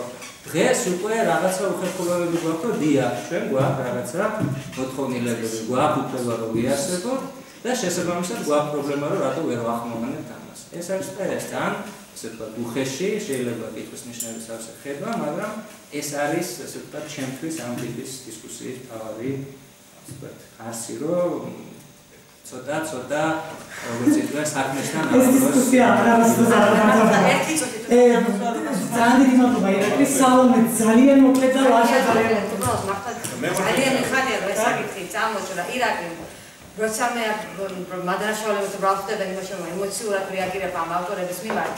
ალბათ გასაკვირველია მე ლოგიკოს თქვათ ალბათ მორალური რაღაც მოსაზრებებიდან გამომდინარე რომ არ მესმის როგორ შეიძლება მემარცხენე მოაზროვნეს არ აინტერესებს პატარა ერების ბედი ჩემი ასე სწორედ მემარცხენეს უნდა აინტერესებს პატარა ერების პატარა ერების ჩაგვის საკითხი მაგრამ ირაკლი საკითხის სამჭრე ეს არის ძალიან მნიშვნელოვანი ნაციონალიზმის საკითხი. მემარცხენე მოაზროვნებს მას ჩვენ ისეთ ბუმბერას ნაციონალიზმის შიშის ჰობსბაუმი და თავად მარქსიც პატარა ერები არ აინტერესებს იმიტომ რომ პატარა ერები თავისი დეფინიციით ნაციონალიზმს ვერ ავსწრებთ როცა პატარა ერებთან გვაქვს შეხება და ჩემი აზრით და ბევრი ასევე მემარცხენე მოაზროვნე, მათ შორის ტონიჯადი ამას ძალიან წერს. ეს არის დიდი ინტელექტუალური სიბეცე, რაც გაძლევს უწყვეტ ხაზად ძალიან ბევრ ბუმბერას მოაზროვნეს მარცხენა ფლანგზე, რომ ისინი არ ანიჭებენ სათანადო მნიშვნელობას არც ეროვნულ იდენტობას, არც რელიგიურ იდენტობას და რასაკვირველია ერთად უყურებენ ბაზარ ეკონომიკურ სტრუქტურებს, ეკონომიკური თვალსაზრისით ძალაუფლების გადანაწილებას და მე ჩემთვის აბსოლუტურად წარმოუდგენელია როგორ შეიძლება მე-20 საუკუნის ისტორიის გააზრება მემარცხენე პერსპექტივიდან ისე რომ არ გავითვალისწინოთ ნაციონალიზმის, რელიგიური იდენტობის და შემდეგ სხვადასხვა იდენტობების ძალა და სიმძლავრე. ეს ერთი საკითხი. მეორე რაც გიორგი ლაპარაკობს ჩურჩხელა და ჩოხა საქართველოსთან დაკავშირებით ეს დიდი პრობლემა არასაკუთრებია. ოღონდ აქ მარტოები არ ვართ. მე მგონია რომ ზოგადად თემი ესე ვთქვათ ისევ ამ ჰეგემონურ წესით რომ დაუბრუნდეთ ეს ეს აი ეთნიკური სამზარეულო ხომ რაღაცა ცხოვრობ, ეთნიკური სამზარეულო არის ყოველთვის ინდური, ტაილანდური, ვიეტნამური, ან პაკისტანური, ან ლიბანური. არასოდეს ეთნიკური სამზარეულო არ ეწოდება ფრანგულს, გერმანულს, ან იტალიურს თუნდაც. ესენი ამას თავის სახელი ქმნის. world music ესეთი ჟანრი. იქაც იგივე არასოდეს აქ ვერ ნახავთ ევროპის ერების მუსიკას, აქ ისევ ვაკუნე სამე სოფლიო ეთნიკური ან თქვა წარსულზე ხაზგასმა თანამედროვეობა ეკუთვნის ევროპას, ევროპას ეკუთვნის პროგრესი, წარსული ორნამენტები, ეთნიკური ეს არის ჩვენი ყველაზე ხვედრი. სხვადასხვა მიზეზებიდან გამომდინარე, ჩვენ გასაკვირველია საბჭოთა წარსული ამას გვიმძინებს და ამის გადასახად ნამდვილად შეიძლება ძალიან ესე ვთქვა რაციონალური ძალისხმევის და რაღაცა სტრატეგიების მოდელები. დიდი მადლობა ლაშა შენ დაკრებული ეს წინააღმდეგ ეს არის რა თქმა უნდა მართლაც ესეთი სრული კონცენტრაცია ევროპაზე არა საჭირო. სათაური და სათაურში რო ავიყვეწეროს ევროპული ისტორიის და პოლიტიკის განაპირას და არა მოდი ეწეროს სოფლიოს ისტორიის და პოლიტიკის განაპირას ბევრ რაღაცა ზედმეტ საუბრებს ვერცავთ კარგი, დიდი მოწმცა ტექსტში მსოფლიო ისტორიაზე არის საუბარი, მაგრამ ეხლა იმაზე კამათი ევროპა ვარსკვლავი ძალიან შორტად იყო და ისედაც დიდ ხანს გაგრძელდა, ყველას დიდი მადლობა მოგზაურობისთვის.